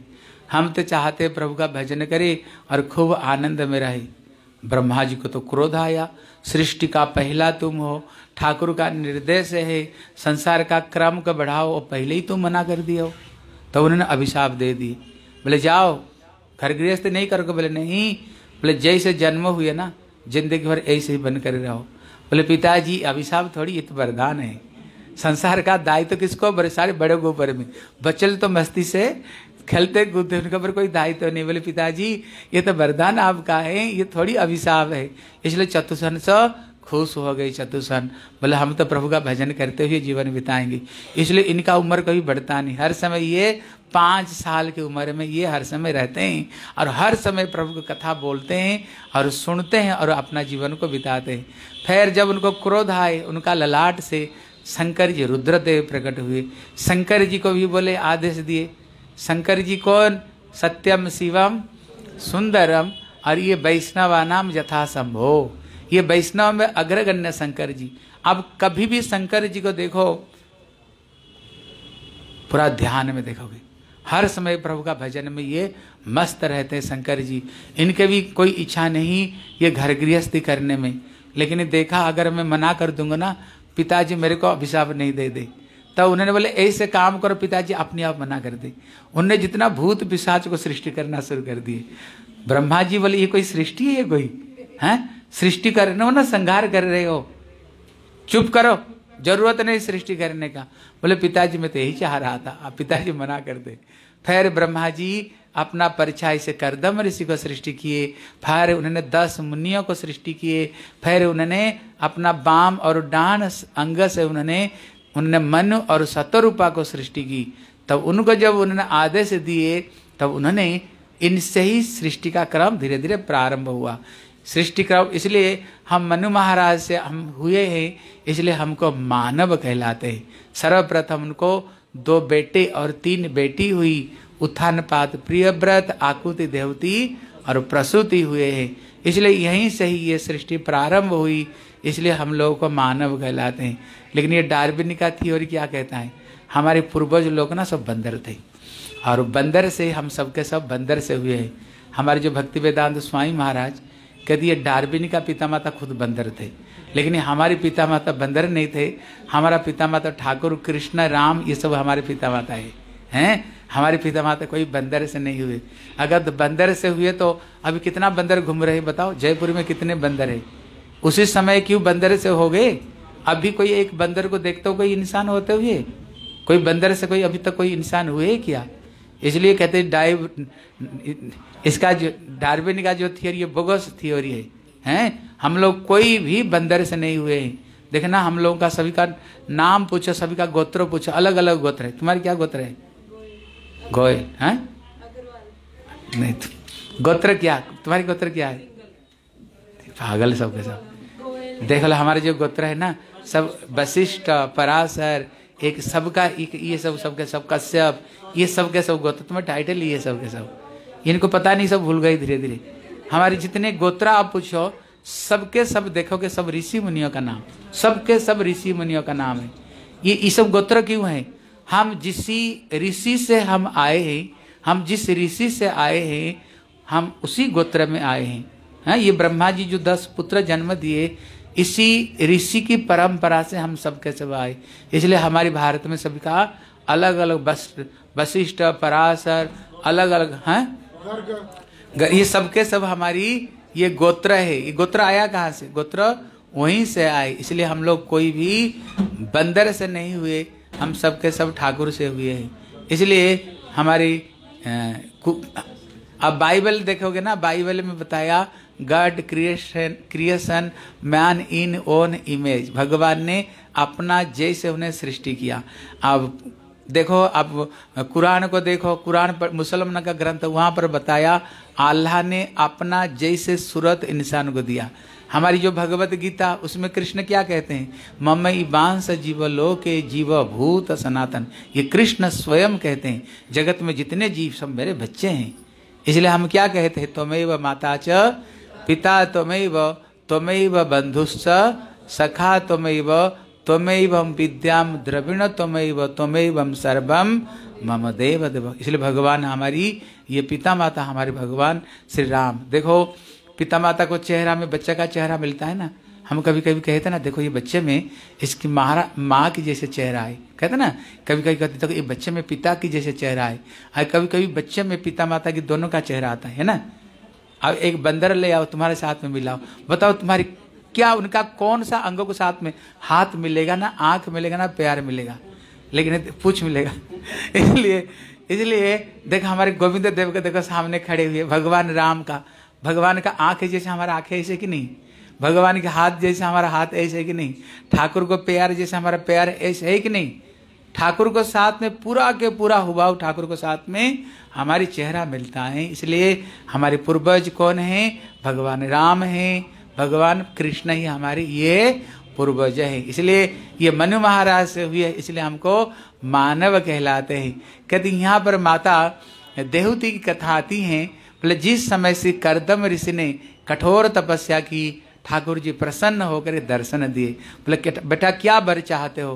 बोले, मेरे को आपके चरण में हमें भक्ति दो। बोले, तथास्तु। बोले, और क्या बर चाहते हो? बोले, ठाकुर जी मेरे मन में तो कोई संसार की कोई इच्छा है ही नहीं मेरे मन में। लेकिन आपकी इच्छा है, ये सृष्टि का क्रम धीरे धीरे बढ़े, लेकिन आपकी इच्छा को पूरी करने के लिए मैं शादी कर सकता हूँ। लेकिन मेरे दो शर्त है, बोले बताओ। बोले, पहला शर्त है, आप अगर मेरे बेटे बनकर के आओगे फिर मैं शादी करूँगा। बताओ, आप मेरे बेटे बनोगे? भगवान बोले, ठीक है, मैं तेरा बेटा बनूँगा। बोले, दूसरा शर्त, बोले, तब तक ये संसार में रहूँगा जब तक मेरे संतान नहीं हो जाता है। संतान हो जाए, फिर मैं भजन करने के लिए चला जाऊँगा। बोले, बेटा, कोई बात नहीं। तब उनकी साथ में माता देवती की शादी हो जाती है। जब शादी हो गई, उसको बाद में फिर करदम ऋषि भजन में फिर बैठी गई। जब भजन में बैठी गई, माता देवती अपना पति व्रता धर्म को साथ में अपना पति की उसने सेवा करते रही। इतने उनने सेवा की, इतने सेवा की, दस हज़ार साल तपस्या की। जब उनको आग खुली है ना वो भूल गए, हमने कभी शादी किया था। सामने देखा कि डोकरी बैठी, बुढ़िया है। बोले, भैया, तू कौन हो? बोले, आपको याद है कभी आपने शादी किया था? बोलो तुम वही देहूती। कभी ये आकुति, देहूती, प्रसूति इतनी सुंदर थी देखने में। स्वर्ग में देवता लोग जब इनके रूप को देखते थे, खेलते हुए वो भी इनकी रूप में बेहोश हो जाते थे, इतने सुंदर थी। लेकिन उसने पति सेवा करते करते करते करते एकदम बूढ़ी हो गई। क्योंकि पति भोजन नहीं कर रहे, फिर ये कैसे भोजन करेगी? पति स्नान नहीं कर रहे, ये कैसे स्नान करेगी? इसलिए उनका केस में जटाजुट हो गया उनको केस में, हैं? एकदम ये बूढ़ी हो गई है सब। देखो, यहाँ पर शिक्षा देते हैं, अगर पति, हमारा सनातन धर्म क्या कहता है? पति रसोई बना कर पहले क्या करे? पहले तो ठाकुर को भोग लगाए। ठाकुर को भोग लगा कर, फिर क्या करे? उसको फिर बच्चों को, पतियों को खिलाए, फिर बाद में भोजन करनी चाहिए। ये नियम है ना? ये ये नियम है। अगर पति श्रृंगार नहीं कर रहे हैं, पति भजन में बैठे हुए, अभी वो कैसे श्रृंगार करेगी? इसलिए पति के श्रृंगार के बगैर ये भी श्रृंगार नहीं कर रही हैं। इसलिए पूरा के पूरा इसकी जटाजुट हो गई। पूरा के पूरा जटाजुट हो गई। स्त्रियाँ श्रृंगार क्यों करती हैं? बताओ। मैंने अपना गाँव में देखा, हमारी जो माताएँ थी ना, वो कभी दिन में श्रृंगार नहीं करती थी, शाम को करती थी। बोले, क्यों करती थी? बोले, पत्नियाँ श्रृंगार किसके लिए करते हैं? पति के लिए। पति के लिए करते हैं ना? पति तो दिन भर काम में जाते थे, वो तो है ही नहीं, पर श्रृंगार कर किसको दिखाएगी? इसलिए पति शाम को आते थे। आने का नाता हमने देखा, जो गाँव में माताएँ शाम को श्रृंगार करती थी, क्योंकि पति काम से पति काम से आएगा। और एक और एक नियम है, जो लड़कियों को ना शादी से पहले ज़्यादा श्रृंगार नहीं करनी चाहिए। साधारण रूप में करनी चाहिए। क्योंकि जो श्रृंगार है स्त्रियों का, ये केवल पति के लिए होता है, दूसरे के लिए ये नहीं होता है। इसलिए देखो, पतिव्रता, धर्म जाजन करने पर कितने शक्ति देखो। करदम ऋषि तो खुश हो गई बोले, वाह, इतने पतिव्रता धर्म मेरे लिए भोजन नहीं, इसलिए बुढ़ी हो गई और जटाजुट हो गया केस में। बोले, बताओ तुम्हारी मन में क्या इच्छा है? बोले, भगवान से क्या वर मांगे थे? भगवान हमारे बेटे बन करके आए ना, आप तो यही वर मांगे थे। बोले हाँ। बोले, जाओ, ये बिंदु सरोवर में स्नान करो। स्नान करते ही वो जितने सुंदर थी, उससे भी ज़्यादा सुंदर बन करके वो प्रकट हुई। साथ में हज़ार हज़ार दास दासियाँ प्रकट हुई और करदम ऋषि महा तपस्वी थे। अपना जोग बल से उन्होंने एक विमान प्रकट किया, जिसका नाम था कामक विमान। वहाँ पर वर्णन आया है, कितना क्रोश तक ये विमान थी, जिसमें पेड़, पौधा, लता पत्ता फल, फूल से जो भरा पड़ा हुआ, जिसमें सुंदर सरोवर, हंस क्रीड़ा करते हैं, चार तरह का कमल फूल खिले हुए, जिसमें अभी तो एयर कंडीशन जैसे बताते हैं ना कहते तो उसमें अगर कोई बैठे ना, कभी भूख आपको नहीं लगेगा, कोई बूढ़ा बूढ़ी नहीं बनेगी, ऐसे विमान उसने बनाया। उसमें पेट्रोल, डीजल की ज़रूरत नहीं। काम का मतलब जैसे चाहो वो वैसे ही आकाश में उड़ते रहेगा। ऐसे दिव्य विमान। अभी वो विमान में बैठी करके उन्हें रमण करते रहे और उनको बड़ी प्यारी प्यारी उनको नॉट, उनको बड़ी सुंदर सुंदर उनको बैठी हुई।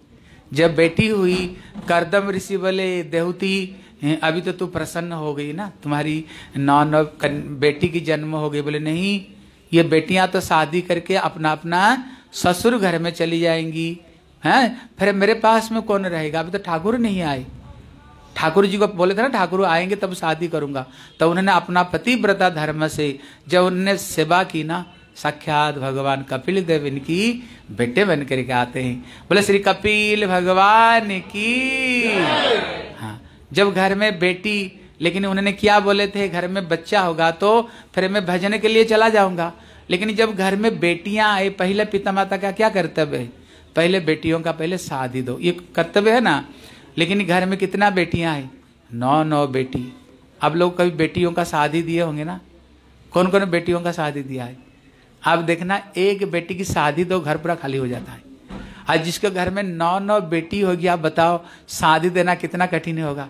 लेकिन यहाँ पर एक शिक्षा देते हैं, कितना करते हो तुम कन्हैया मेरा? नाम हो रहा है और तेरी कृपा से सारे काम हो रहा है। इसलिए जो भगवान की भक्ति के लिए इच्छा करे ना, देखो ठाकुर कैसे सब इच्छा कैसे पूरी कर देते हैं। नरसिंह भगत का नाम सुने हो? क्या ठाकुर जी स्वयं साबरिया सेठ बन करके ठाकुर जी गए? अब देखे हो उस फ़िल्म को? ए, हीरे जवाहरात की एकदम बरसात होने लग गई। क्या उन्होंने शादी करवाया ठाकुर जी स्वयं? इसलिए एक दिन ब्रह्मा जी अपना नौ बेटे को साथ में करदम रिश्ते मिलने के लिए आए। इनको पास में नौ बेटे और उनको पास में नौ बेटी। बोले, भैया, जोड़ी तो बहुत ही प्यारी है। एक साथ शुभम, शीघ्रम, शुभ कार्य को शीघ्र कर देनी चाहिए। एक साथ में नौ नौ बेटियों की शादी कर दिया, घर खाली। अभी घर में तीन व्यक्ति, पिता, माता और बेटा रह गए। इतने में करदम ऋषि सन्यास लेकर के अभी भजन करने के लिए जा रहे तब यहाँ पर प्रश्न होता है, भैया, भजन तुम किसको करने के लिए जा रहे हो? बोले, भगवान को। बोले, घर में तो तेरे भगवान बैठे भगवान कपिल देव घर में बैठे ना? फिर तू किसको भजन करने के लिए जा रहे हो? तब हमारे श्री विश्वनाथ चक्रवर्ती ठाकुर यहाँ पर उन्हें तीन कारण बताए। भगवान घर में रहते हुए भी ये बाहर क्यों भजन कर लिए जा रहे? आप लोग याद करना, कल सबको पूछूँगा। ठीक है? ये क्यों भगवान तो घर में है, इनको भजन के लिए क्या ज़रूरत है? पहला कारण बताए इनको पता है, ये बेटा भी घर में रहने वाला नहीं। ये भी घर छोड़ करके ये जाने वाला, ये भी घर में नहीं रहेगा। अगर घर में ठाकुर जी आए, फिर वो ठाकुर जी घर छोड़ करके बाहर चले जाए, कितना कष्ट होगा। बोले, भैया, तू घर छोड़ने से पहले मैं ही घर छोड़ रहा हूँ। इसलिए उन्होंने क्या किया? घर छोड़ करके भक्ति करने के लिए चले गए। दूसरा कारण बताए, भगवान की प्रति इनकी जो भावना है, दास्य भाव, भगवान को ईश्वर मानते हैं, वो अपने आप को सेवक मानते हैं। इसलिए इनके अंदर में भगवान की प्रति जो भावना, ये दास्य रस है। लेकिन अभी ठाकुर जी पुत्र बन करके आए। अभी जो रस में ना बड़ा गड़बड़ी हो रहा है। खुश तो बेटा बेटे के लिए तो बेटे भावना रखोगे ना, लेकिन इनका तो स्वभाव तो भगवान को प्रभु मान करके, अपना को सेवक मान कर, देखा, रस में भी बड़ा गड़बड़ी हो रहा है, लड़ाई हो रही इसका दूसरा कारण बताए। तीसरा कारण बताए कहते जीवन में हमारी भगवत प्रयोजन नहीं, जीवन में हमारा प्रेम प्रयोजन है। क्या प्रयोजन है? ज़ोर से बोला। बोले, इसका मतलब क्या है? अब भगवान नहीं चाहते, बोले, नहीं, हम भगवान नहीं चाह रहे। फिर तुम क्या चाहते हो? हम भगवान के प्रति हम प्रेम चाहते हैं। इसलिए पहले दिन हम लोग ने श्रवण किया था। कंस को भी तो कृष्ण मिले। रावण को तो राम दर्शन मिला, लेकिन उनको कोई लाभ हुआ है? कोई लाभ नहीं हुआ। बल्कि भगवान को प्रति उन्हें द्वेष ईर्षा कंस तो सारा जीवन अघासुर बकासुर पुतना को भेजते रहा कृष्ण को मारने के लिए। रावण तो ज़िंदगी भर प्रभु राम को बैरी, भगवान के साथ में उन्होंने बैरी भाव रखा। कहते, हमारी भगवत प्रयोजन नहीं, हमें प्रेम प्रयोजन है लेकिन ये प्रेम मिलेगा कब? कहते, बगर साधन के बगैर ये प्रेम मिलने वाले नहीं। इसलिए उन्होंने घर छोड़ करके घर में भगवान रहते हुए भी उनने घर में भगवान को छोड़ करके उन्होंने जंगल में गए भगवान को भजन करने के लिए। जब उन्होंने भगवान के भजन किए और भगवत उनको प्राप्ति हुई, अभी घर में दो व्यक्ति माँ और बेटे रह गए। लेकिन माँ को पता मेरा बेटा साक्षात भगवान। एक दिन माँ स्वयं आ करके अपना बेटे को पास में हाथ जोड़ करके प्रश्न करती हैं, बोले, बेटा, तू तो भगवान हो, मैं तो स्त्री जाति में जन्म लिया है। मेरे मन में तो पता नहीं कितने संसार के प्रति आसक्ति, मन कितने चंचल है, ये मन भजन में लगना नहीं चाहते बेटा, मेरे को बताओ, मेरा कल्याण कैसे होगा? ठाकुर जी अपना माँ को उपलक्ष्य करते हुए हम लोगों को उन्होंने दिव्य ज्ञान दी। बोले, माँ बोले मन एव मनुष्यानाम कारण बंधमक्ष्य बोले, माँ, यही मन ही बंधन का कारण और यही मन ही मुक्ति का कारण। जब ये मन को तुम ठाकुर जी के चरण में लगाओगे, ये मन मुक्ति के कारण बनेगा। जब उसको संसार में लगाओगे, ये बंधन का कारण बनेगा। इसलिए, माँ, ये मन को ठाकुर के चरण में लगाया करो। बोले, बेटा, बोलना जितने सहज, करना इतना आसानी नहीं। इसलिए ये मन बड़ा चंचल है, कैसे तेरा भजन करो? इसलिए अर्जुन क्या कहता है? चंचल ही मन कृष्ण ही बलवत दृढ़ ये बाई को रोका जा सकता है, मन को नहीं। ये तो एक मिनट में विश्व ब्रह्मांड घूम करके ये आ जाता है। बताओ, ये मन को हम कैसे बसीबूत करें? बोले, माँ केवल एक ही उपाय है। बोले, क्या है?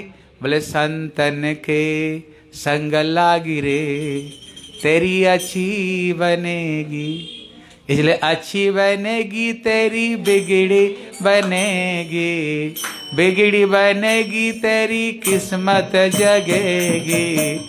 संतन के संग लागी रे तेरी अच्छी बनेगी। संतन के संग लागी रे तेरी अच्छी बनेगी। इसलिए बोले, माँ, एक काम करो, तुम संतों का संग करो संतों का संग से मेरी कथा सुनते रहो। कथा सुनते सुनते ये मन अपने आप भगवान में लग जाएगी। बोले, सतांग प्रसंगात मम वीरज संविदो। भवंति हृतिकार न रसायन कथा। ताजो सन आसु अपवर्ग वर्तमनी। श्रद्धारति भक्ति अनुक्रमिशति कहते माँ संतों का संग करो। संतों का संग में मेरी जो ब्रिजवती कथा जो होती है, ये कथा सुनते सुनते सुनते सुनते मन तुम्हारी अपनी आप भगवान में लग जाएगी। पहले श्रद्धा, उसके बाद में भक्ति, फिर प्रेम प्रकट होगा और संत का संग से कहते अ प, वर्ग, वर्तमनी। प, वर्ग मतलब होता है प, फ, ब, भ और म। बोले प में बोले परिश्रम बोले फ में बोले फेड़ बोले ब में बोले व्यर्थता बोले भ में बोले भय और म में मतलब मृत्यु। कहते, अगर ये संतों का संग करेगा ना, ये सारे चीज़ समाप्त हो जाएगी, भय समाप्त हो जाएगी। जन्म मृत्यु से निकल जाओगे चिरकाल के लिए, तुम्हारी धन्य जीवन धन्य हो जाएगी माँ। केवल संतों का तुम संग करो बोले, बेटा, तुम तो बोल दिया संतों को संग करना। अब विशेष करिए कली युग में तो संतों को समझना भी बड़ा कठिन है, हैं? इसलिए संतों का कुछ लक्षण बता दे। बोले, तितिक सब कारुणिक, सुहृद सर्वदेही नाम। अजात सत्र बसांता साधु भी साधु भूषणम। बोले, संतों का जो पहला लक्षण है, बोले, तितिक सब। तितिक सब मतलब था सहन शक्ति। इसलिए कहते ना, जो सहे सो रहे और जो ना सहे, वो नाश हो जाए। इसलिए सबसे पहला लक्षण है सहन शक्ति। हमारे अंदर में सहन शक्ति होनी चाहिए। जैसे श्री हरिदास ठाकुर जी, इनको बाईस बाज़ार में पिटाई हो गई। शरीर से सारी चमड़ा निकल गया, लेकिन उन्होंने जितने ज़ोर से उनको पीट रहे थे मुसलमान लोग, बोले, खबरदार, ये हिंदू बानी हरे कृष्ण नाम तुम उच्चारण नहीं कर सकते हो। तो मुसलमान कुल में जन्म लो, कलमा उच्चारण कर। भगवान का नाम नहीं ले सकते हो। उन्होंने क्या बोले? भले ही बोटी बोटी करके मेरे शरीर को काट डालो, लेकिन भगवान के भजन में नहीं छोड़ सकता हूँ। इसलिए उनको जितने ज़ोर से पीट रहे थे ना, वो उतना ज़ोर से हरे कृष्ण हरे कृष्ण कृष्ण कृष्ण, हरे हरे हरे राम हरे राम राम राम। ज़ोर कर बोलो। बोलो, हरे कृष्ण हरे कृष्ण कृष्ण कृष्ण, हरे हरे हरे राम हरे राम राम राम। इसलिए जब हरिदास ठाकुर को मार रहे थे, इतने में स्वयं ठाकुर जी गोलोक वृंदावन से कृष्ण चक्र लेकर के आ गए। बोले, मेरे भक्तों को पर अत्याचार, इस सबको मैं मार डालूँगा। लेकिन इसे हरिदास ठाकुर ठाकुर जी से प्रार्थना कर रहे थे। ठाकुर जी, ये सब अज्ञा मूर्ख कुछ नहीं जानते हैं। अब इनके अपराध को माफ़ कर दो। देखो, इनके अंदर में कितने सहन शक्ति है। इनकी पिटाई कर रहे हैं, पाँच, छह मुसलमान मिलकर कोड़े मार रहे हैं। हैं? लेकिन वो ठाकुर जी से प्रार्थना कर इनको माफ़ कर दो। ये मूर्ख अज्ञा है। लेकिन हमारे जीवन में मारने का दुर्ख बात है। अगर थोड़ी कोई उल्टा पुल्टा बात बोल देना बाबा फिर महाभारत हो जाते हैं लेकिन ये संतों का चरित्र है, जितने, इसलिए भगवान, इतने में ठाकुर जी अपना पीठ को, उनको पीठ में लगा दिया। जितने पिटाई हुई ना, सब ठाकुर जी ठाकुर जी गोबर में लगे। इसलिए कहते संतों का जो पहला गुण है, कौन सा गुण है? सहन शक्ति। इसलिए जो सहे, सो रहे। संसार में हो और भक्ति जगत में हो। अगर थोड़ी थोड़ी बात में चिड़चिड़ी स्वभाव है, लड़ाई करते हो, कहीं भी शांति नहीं मिलेगी। और भक्ति जगत में तो रहनी चाहिए। तितिक सब कारुणिको संत बड़े दयालु होते हैं। सुहृद सर्वद ही नाम। कद वसुधैव कुटुम्बकम। पृथ्वी को एक परिवार मानते हैं। हम एक पिता की सबके सब हम संतान हैं। इसलिए सुहृद सर्वद ही नाम। इसलिए कहते, इनकी सबके सब ये भक्तों का लक्षण है। लेकिन उनका अंदर में एक विशेष लक्षण है। बोले, कौन सा लक्षण है? बोले, कृष्ण ही का शरणम। इनका सर्वश्रेष्ठ लक्षण है। मात्र अकेले केवल भगवान के चरण में जो शरणागति है, इनके अंदर में ये विशेष लक्षण है। माँ को उन्होंने, सारी उन्होंने संतों की लक्षण बताए। बोले, माँ, मातृगर्भ में जब सात महीना हो जाए, उसका सारे पूर्व जन्म की याद आता है। पूर्व जन्म में मैंने कैसे झूठ, बेईमानी करके पैसा मैंने कैसे कमाया, पूरा परिवार को मेंटेनेंस किया, लेकिन ये सुख का समय तो सारा दुनिया थे, लेकिन दुख का समय में हमारे साथ में कोई है नहीं। इसलिए ठाकुर जी को प्रार्थना करते, ठाकुर जी, मेरे को ये नरक से निकाल दो। बोले, माँ, पेट में आना, नरक में आना बराबर है। पेट में बताओ क्या है? टाटी, पेशाब, खून पीक इससे सिवाय क्या है? सर नीचा, टांग ऊँचा रहता है। हैं, माताएँ जो गर्मी गर्मी चीज़ खाते हैं, बच्चे को शरीर में लगता है, कोई खट्टा नमकीन चीज़ खाए, वो भी शरीर में लगता है, हैं? इसलिए बड़ा कष्ट उसको उठाना पड़ता है। भगवान से प्रार्थना करता है, मेरे को नर्क से निकालो। बोले, क्या करोगे? बोले, इस बार में कसम खाता हूँ, एक बार केवल जन्म दे दो, कभी भी ये झूठे संसार में नहीं फंसूगा। हम लोगों ने वायदा ठाकुर से किया। बोले, ये कष्ट पाकर कह रहे हो, ना जब संसार में जन्म दे दूँगा, भाई, बंधु पिता माता का प्यार मिलने लग जाए, भूल जाओगे? बोले, प्रभु, कभी नहीं भूलूँगा आपको याद करते रहूँगा, हैं? बोले, अगर तू भूल जाओगे ना बीच बीच में मैं वार्निंग दूँगा। बोले, क्या वार्निंग दोगे? बोले, पहले जब एक बाल पक जाए ना, ये पहला वार्निंग ऊपर जाने का समय हो गया। आप लोग देखना, जब बाल पकता है कहाँ से? कान को पास में, देखना, सबसे पहले यही, यहीं पर बाल पकता है। अगर एक बाल पकता हुआ देखा ना उसको उखाड़ देते हैं। बोले, इतना जल्दी हमें बूढ़ा बूढ़ी बना रहे अभी कुछ नहीं हुआ। फिर दूसरा बाल, तीसरा बाल उखाड़ देते हैं।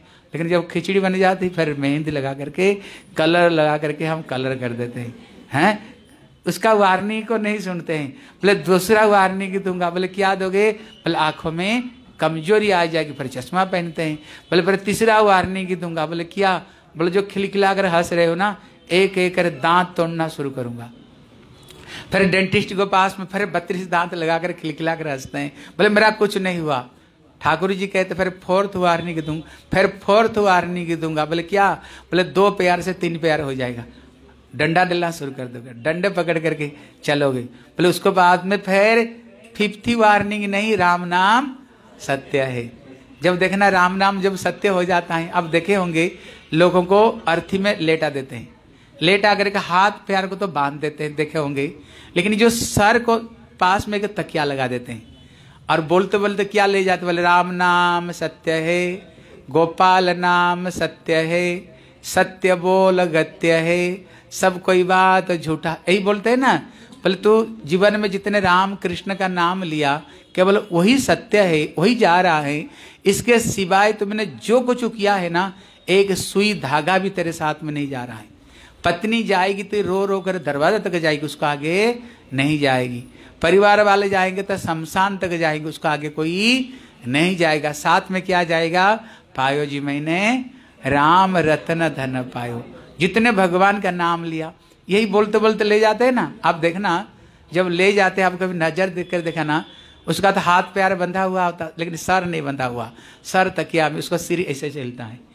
वो कहते, राम नाम सत्य बेटा, ज़िंदगी भर तो नाम, राम निया नहीं। अरे, मरते समय तक बार राम का नाम ले ले। लेकिन उसका सिर ऐसे ऐसे होता है। बोले, नहीं, अभी भी नहीं लूँगा। अभी भी नहीं लोगे? बोले, चारों तरह का मज़ा चखाएँगे। अभी तो नहीं लोगे। उसको लेकर फिर चिता से जाते। फिर चिता के ऊपर लेटा देते। बोले, भैया, अभी तक राम का नाम ले ले, यही तो जाएगा। बोले, नहीं लूँगा। बोले, अभी तेरे को दिखाते क्या करते फिर उसको मुँह में अग्नि देते क्यों मुँह में अग्नि देते जानते हो? कहते जिस जुहा तुमको भगवान ने दिया था मुँह, भगवान का नाम करने के लिए, ज़िंदगी भर दूसरे की चुगली, निंदा उल्टा पुल्टा बात बोले हो, उस मुँह में हम आग लगाते, देते हैं। ये गाली देते हैं। लेकिन संतों का चरण में, वैष्णव को मुँह में आग नहीं, उनका चरण में देते हैं। बोले, क्यों चरण में देते हैं? बोले, जिसने जीवन में प्रभु का भजन किया, अग्नि एक देवता ही, अग्नि भी तुम्हारी चरण की पूजा कर रहा है। उन इसलिए चरण में देते हैं, उनका मुँह में नहीं देते हैं। मुँह में देना मतलब ये गंदी बात है, हैं? इसलिए भगवान स्वयं माँ बोले, माँ, ये जीवन पा करके भगवान भजन कर लोगे तो ये जीवन का धन्य हो जाएगी। भजन नहीं करोगे, फिर क्या होगा उसको बाद में? फिर तेरह दिन के बाद में हमारे शुद्धि होते ना तेरह दिन। बोले तेरह दिन क्यों? अब देखना, घर में जब कोई व्यक्ति मर जाते हैं और गरुड़ पुराण पढ़ते हैं। सुने होंगे, उसमें सारे बात बताई। उसको एक नदी पार करना पड़ता है, जिसको बैतरणी नदी बताए। वो नदी केवल टाटी, पेशाब, खून का होता है। ऊपर से कोड़े मार मार करके नदी पार कराते हैं। इसको, उसका तेरह दिन लग जाती है पार होने में। इसलिए तेरह दिन के बाद में शुद्धि क्रिया।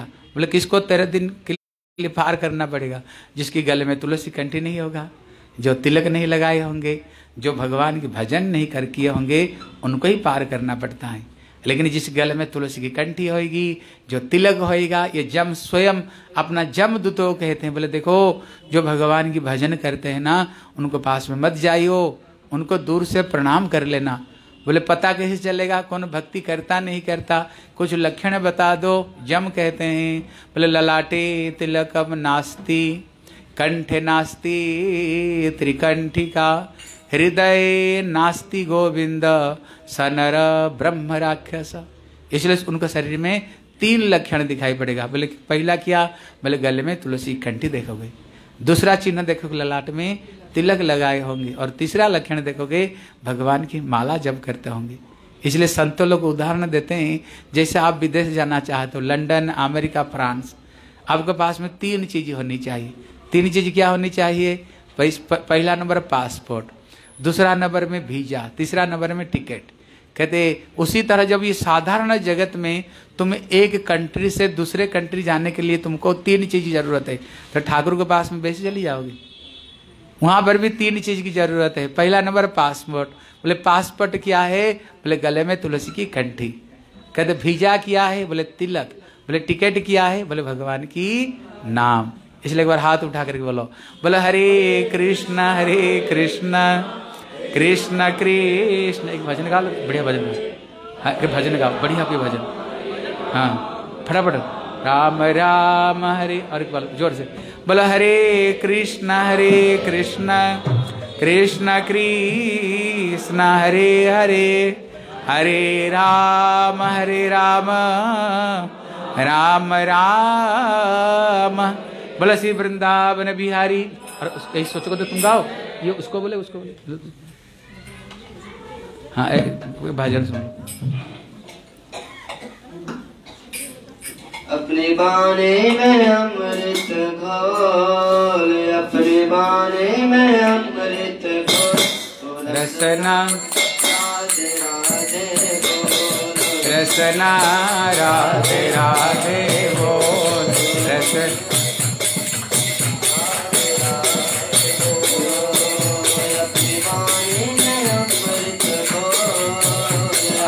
वाणी में अमृत को रसना रसना राधे राधे वो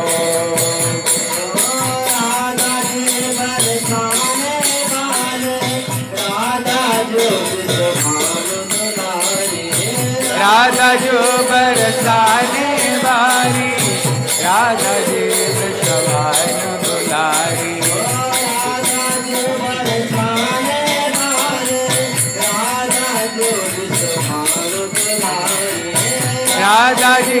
जी भैया एक बार बैठ जाओ अले राधा जी, वृषभ यहीं पर बैठ जाए।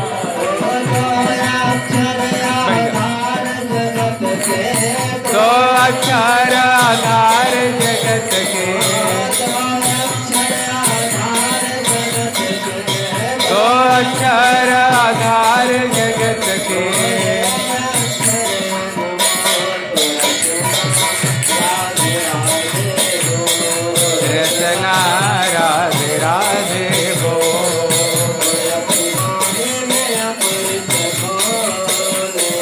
बाई में अमृत घोर रचना। रचना राधे राधे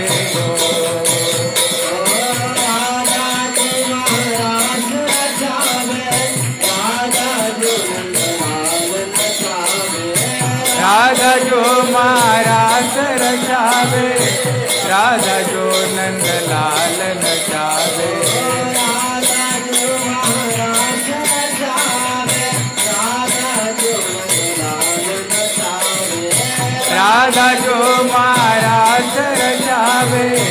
राधा जो नंदलाल नचावे। ये सबके वर के नयनन में। हे सभी को भर के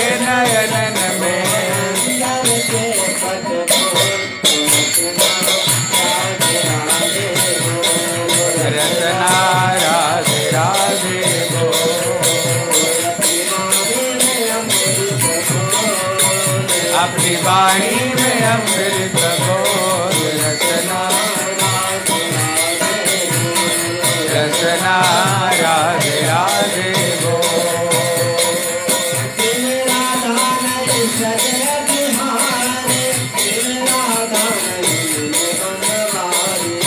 बिनु राधा नहीं सजे बिहारी, बिनु राधा नहीं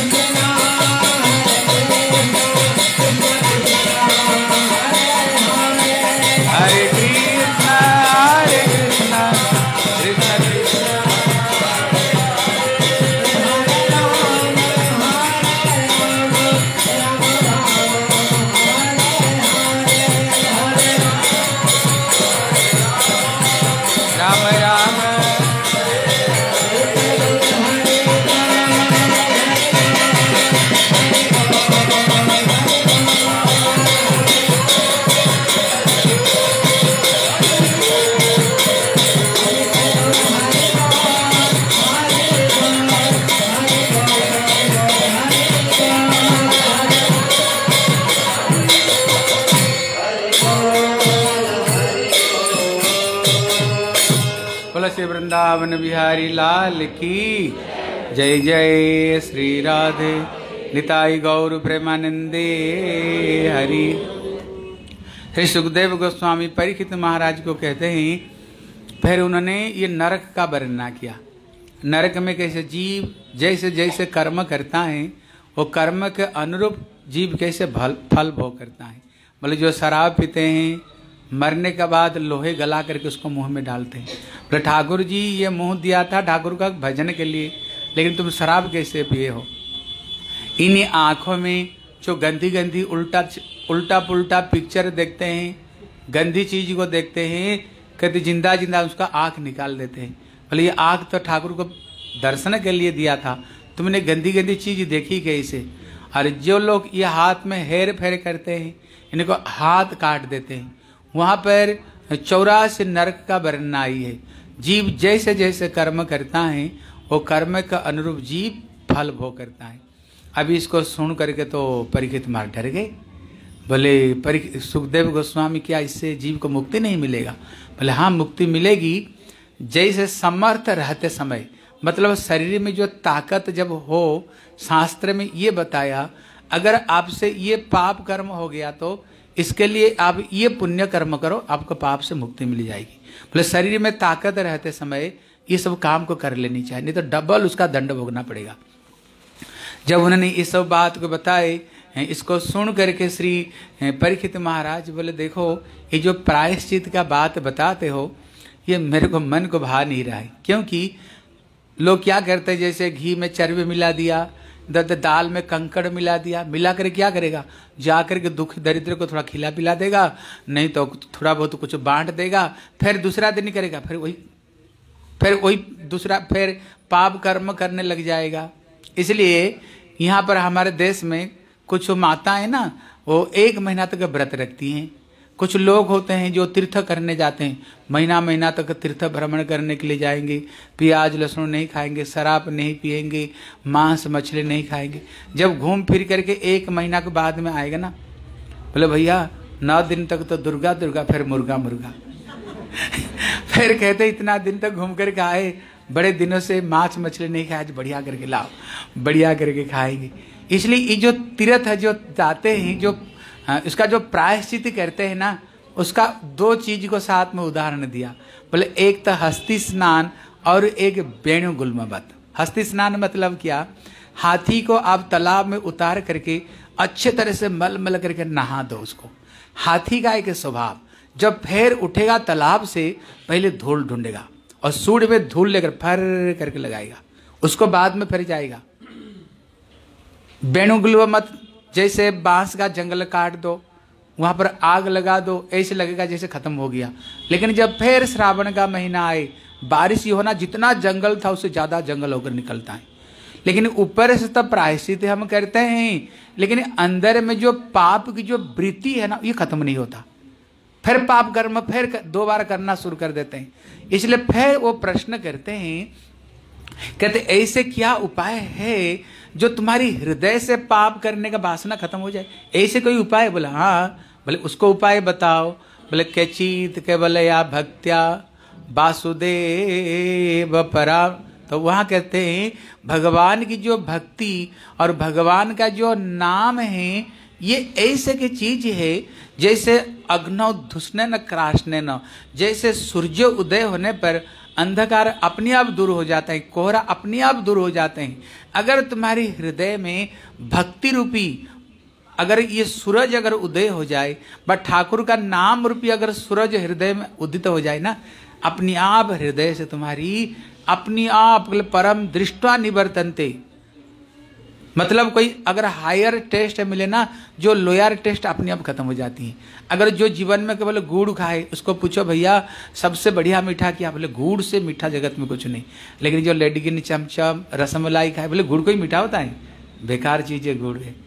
कहते उसी तरह जब तुमको हायर टेस्ट मिलेगा ना, ये लोअर टेस्ट अपने आप खत्म हो जाएगा। कहते वो क्या है? बोले, भगवान के प्रेम, भक्ति और ठाकुर जी का नाम। बोले, सुनो, मैं तुमको एक सुंदर स्टोरी सुनाता हूँ। बोले, बोलो। बोले, कान्याकुब्ज देश में एक ब्राह्मण रहता था, जिसका नाम था अजामिल। बड़े धर्मपरायण पिता माता की सेवा करने वाले, दूसरों को पर दया करने वाले, अपना ब्रह्मचर्य पालन करने वाले, जिसका उसका अंदर में सारे सद्गुण था। घर में पत्नी, ब्राह्मणी, बड़ी सुंदरी, प्यारी। लेकिन एक दिन उसने जंगल में अपना हवन के लिए कुछ फल मूल कुछ लकड़ी की संग्रह करने के लिए गया। और उसने हठात एक अश्लील चित्र देखा। एक शूद्र और एक शूद्राणी विवस्त्र होकर के शराब पी करके मिल रहे थे। उसने देखा तो देखते ही रह गया। मानो उसको हृदय में फटो खींच गई। जब उसने वापस आया, घर में सुंदरी पत्नी ब्राह्मणी अल्पोम्र की अच्छी है, पतिव्रता नारी। लेकिन ये असत संग का कितना प्रभाव दिखा रहे। उसने अपना पत्नी को त्याग दी। देख कर को सुद्राणी को साथ में रहा। उसको हाथ में जितना उल्टा पुल्टा चीज़ को उसको हाथ में खाए और उसको दस संतान हुए। लेकिन जो सबसे जो छोटा संतान था कैसे उसका नाम नारायण रख लिया। देखो, यहाँ पर क्या देते हैं? ये जो उल्टा पुल्टा जो पिक्चर है होता है ना ये अभी इतने लोग इतने सब गंधे रास्ता पर क्यों चाहते हैं? इतने डाइवर्स फाइवर्स दुनिया में क्यों हो रहा है? पहले जो सिनेमा आती थी ना, बड़े सुंदर शिक्षा हम लोग आती थी, ठाकुर जी की कथा आती थी, लेकिन अभी देखो जितने अश्लील होगा, उतना ही सिनेमा चलेगा, नहीं तो चलेगा नहीं। और विशेष करके यूट्यूब फ्यूट्यूब उल्टा सीधा चीज़ में ऐसे ऐसे चीज़ है, सब कुछ देखो उसमें। इसलिए लोगों का बुद्धि भ्रष्ट हो जाता है और अपना पति, पत्नी को सब छोड़ करके डाइवोर्स हो करके, पहले भारत में कोई डाइवोर्स वाइवोर्स नहीं था कुछ। है? इसलिए सब डाइवोर्स होने का सब कारण है।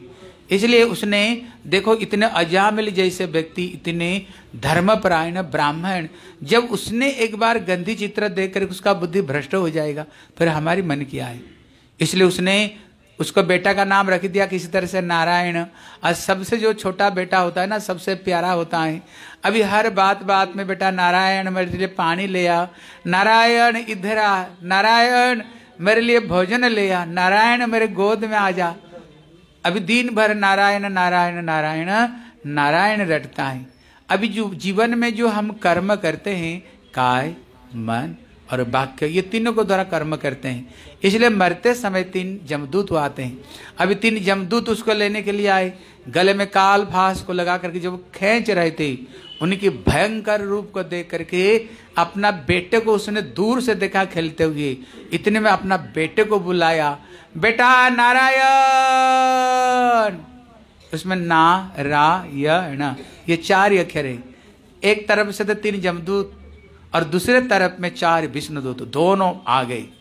आ करके विष्णुदूत कह रहे हैं जमदूत भैया तुम लोग कौन हो? बोले, हम धर्म राजा का दूत है। बोले धर्म राजा का नाम करके इतना अधर्म काम कैसे कर रहे हो? बोले, अधर्म काम किया है? आपको पता है ये व्यक्ति कौन है? बोले, ये पहले ब्राह्मण घर में जन्म लिया। और ब्राह्मणी, अच्छी, सुंदरी ब्राह्मणी थी। अपना पत्नी को त्याग दे करके सुधराणी को साथ में रहा। अमेध कुमेध भोजन की दस बच्चे हुए। सारे बच्चों को लालन पालन के लिए सारी गुंडा गिरती डाकू, सारी गंधा काम किया, इसलिए सीधा नर्क जाएगा। बोले, भैया, इसने कुछ धर्म भी तो किया। बोले, धर्म क्या किया? बोले, अंतिम समय में जो ठाकुर का नाम लिया। बोले, वाह, ज़िंदगी भर पाप कर्म करो और मरते समय राम राम कर हो जाएगा? हैं? इतने में विष्णु दूत कहते हैं, ये बोले, ये वैष्णव है। वो कह रही है, वैष्णव है। बोले, क्यों? बोले, अंतिम समय में जो उसने ठाकुर जी का नाम लिया है, इतने में ठाकुर जी का जो नाम लिया, उसे पुण्य कर्म किया उसको, जब जमदूत ने कहा, एक बार नाम लेने में क्या हो जाएगा? उदाहरण देते हैं, जैसे एक रुई का ढेर हो, नहीं तो भूस हो, उसमें आग की एक चिनकारी लग जाए, क्या होता है? जला करके राख बना देता है। जो भगवान का नाम में इतने शक्ति है इतने शक्ति ठाकुर जी का नाम पर वो सारे पाप को ये नष्ट कर सकता है ठाकुर का नाम। तब फिर उन्होंने जुक्ति दिया, बोले, भगवान को बुलाया वो तो बेटे को बुला रहा था। वो तो भगवान को थोड़ी बुलाया था, वो तो अपना बेटे को नारायण नाम से बुलाया। तब विष्णु तो कहते हैं, उसने जब बेटा का नाम नारायण रखा था, उसी समय में उसका सारे पाप खत्म हो गया था। लेकिन उसने जो बारंबार बेटा नारायण इधर आ जा, बेटा नारायण गोद में आया, बेटा नारायण पानी ले आ, वो जो बारंबार बुलाया, जैसा माला जब करते हैं ना, हरे कृष्ण हरे कृष्ण, इसका तो ये होगा जब लेकिन अंतिम समय में जो ठाकुर का नाम उसने लिया है, लेकिन ये जो बेटा का था नाम लिया, लेकिन जो नारायण किसका नाम है? वो ठाकुर जी का नाम, वो बच्चे को धराया गया था। लेकिन नाम है किसकी? नाम ठाकुर जी का नाम। तो उन्होंने बताए ठाकुर का नाम चार तरह से कल्याण करता है। बोले, कैसे कैसे? बोले, सांकेत्यम पारिहास्यम बा, स्तोभम हेलन नबेबा वैकुंठ नाम ग्रहणम, अशेष अगहरम विदु। बोले, पहला नंबर सांकेत्य। सांकेत्य मतलब होता है इशारा करके। जैसे बेटे का नाम कृष्ण, गोविंद, राम रख लिया। बारंबार आप उसको बुला तो कृष्ण इधर आ जा, गोविंद इधर आ जा। इसको संकेत कहते हैं। बोले, इसको द्वारा भी बच्चों का कल्याण होता है पिता माता की। हैं? इसलिए पहले पहले देखना, सब सब बड़े बूढ़ों का नाम पूछो। कृष्ण का नाम गोविंद, कृष्ण का नाम कृष्ण, राम, लक्ष्मण, सब ऐसे नाम होगा। लेकिन अभी बच्चों का नाम पूछो, क्या है? टुल्लू, बुल्लू, टिंकी, फिंकी, झिंकी। पता नहीं, जितने सब विदेश में जो कुत्ते हैं ना, सब कुत्तों का नाम, बच्चों का नाम देते हैं। बोले, नहीं, नज़र लग जाएगा ठाकुर का नाम से, हैं? इसलिए नहीं, ये सब नाम बच्चों को नहीं देनी चाहिए। नाम क्या देनी चाहिए ठाकुर जी की? नाम। ठाकुर जी की नहीं तो कोई संतों का नाम, दो, कम से कम जीवा से जितना बार ठाकुर का नाम निकलेगा हमारा जीवा का भी कल्याण, जो सुनेगा उसका कल्याण। जिस घर में ठाकुर जी का नाम उच्चारण हो, कहते ना, मंगल भवन अमंगल हरि घर से सारे अमंगल दूर हो जाएगा। इसलिए शास्त्र में बताए, बोले, मधुरम मधुरम में मंगलांग मंगला नाम सकल निगम बल्हि सत्फल चीत स्वरूपम सक्रीदपि परिगीतम श्रद्धया हलयबा भृगुवर नर मात्र तारयते कृष्ण नाम बोले, जो भगवान का नाम है, ये मीठे से भी मीठे है, ये मधुर से भी मधुर है, एक बार अगर ठाकुर का नाम उच्चारण हो जाए, सारा जीवन का पाप को ये नष्ट कर सकता है भगवान की। ये नाम है, बोले श्री नाम प्रभु की। इसलिए उसने वो संकेत के द्वारा भगवान के नाम लिया है। बोले, पारिहास्यम, अगर हँसी दिलई करते करते, अरे ठाकुर का नाम लेने से क्या होता है? अगर हँसी दिलाई करते करते कोई एक संत थे, चैतन्य महाप्रभु जब आए ना, एक संत थे तो उन्होंने महापुरुष सबका हरि नाम दिया। एक गदाधर पंडित था, एक मुसलमान प्रभु का नाम नहीं ले रहा था। एक दिन सवेरे सवेरे पहुँच बोले काजी पाजी निकला बाहर। तब वो बड़े साहस थे। बोले, महाप्रभु आकर सबको उन्होंने हरि नाम दिया, लेकिन तू एक दुष्ट जो महाभगवान का नाम स्वीकार नहीं किया। बोलो, कृष्ण बोलो। बोले, आज जाओ, कल मैं कृष्ण बोलूँगा। क्या बोले, आज जा मैं कल कृष्ण बोलूँगा। बोले, कल क्यों? आज तो तूने कृष्ण बोल दिया, तेरा उद्धार हो गया। है? इसलिए कहते किसी तरह से अगर प्रभु का नाम ले लो, इससे हमारी कल्याण हो जाता है। इसलिए हँसी दिल की करते हुए, इसलिए उसने संकेत पूर्वक उसने भगवान की नाम को ग्रहण किया, इसका सारे पाप नष्ट हो गया। और जमदूतों ने, जमदूतों को विष्णु ने मार मार करके उन्हें भगा दिया। इतने में जितने जमदूत थे, सबके सब रो पीटते हुए गए, और जितने अस्त्र शस्त्र था ना, सबके सब जम महाराज के चरण में फेंक दिया। बोले, ये नौकरी फोकरी आज से हम नहीं करेंगे। बोले, भैया, क्या हो गया? बोले, जगत में आपका नाम ही केवल जम महाराज है। जगत में कोई आपका बात सुनने वाले नहीं, कोई आदेश पालन नहीं करते। हम तो सोच रहे थे जगत का मालिक हरता करता आप हो। बोले, भैया, बात तो क्या बताओ, क्या हो गया? बोले, ये अजामिली नाम का एक बहुत बड़ा पापी था और हम लेने के लिए गए तो पता नहीं, चार ही कहीं से चमचमाते हुए बड़े दिव्य स्वरूप, शंख, चक्र, गदा, पद्म लेते हुए कहाँ से इतने सुंदर प्रकट हुए और इतने हमें अपमान किया, हमको मार मार कर भगा दिया। उनको ला करके दंड दो, नहीं तो नौकरी छोड़ रहे। बोले, भैया, ये बताओ, उसने मरते समय क्या कुछ बोला था? बोले हाँ एक बार वो नारायण नाम लिया था। ये नारायण नाम सुनते ही जाओ, महाराज तो बेहोश हो गए। बोले, भैया, इतना दिन में ठाकुर जी की नाम सुनने को मिला। बोले, ठाकुर जी की? हम तो सोच रहे थे, आप ही जगत का हर्त करता विद्याता बोले, मूर्खों, तुम्हें क्या पता है? हम तो नौकर हूँ। नारायण तो मेरे प्रभु, उन्होंने कृपा करके हमें ये पोस्ट दिया है। कहते ये मेरे किए जितने सारे इंद्र चंद्र सबका जो मालिक है ये भगवान श्री नारायण है। वो तो मेरे प्रभु श्री नारायण है। फिर उन्होंने बोले, देखो अभी बताओ, किसको किसको लाना और किसको किसको नहीं लाना? एक चार्ट बना दो। एक चार्ट बना दो। कम से कम प... उन्होंने बोले, भक्तों को नहीं लाना जो भजन करते हैं। बोले, कुछ चार्ट बना दो। देखो, उन्होंने के चार्ट बनाया। बोले, जीवा न भक्ति भग ये जब महाराज चार्ट बना रहे।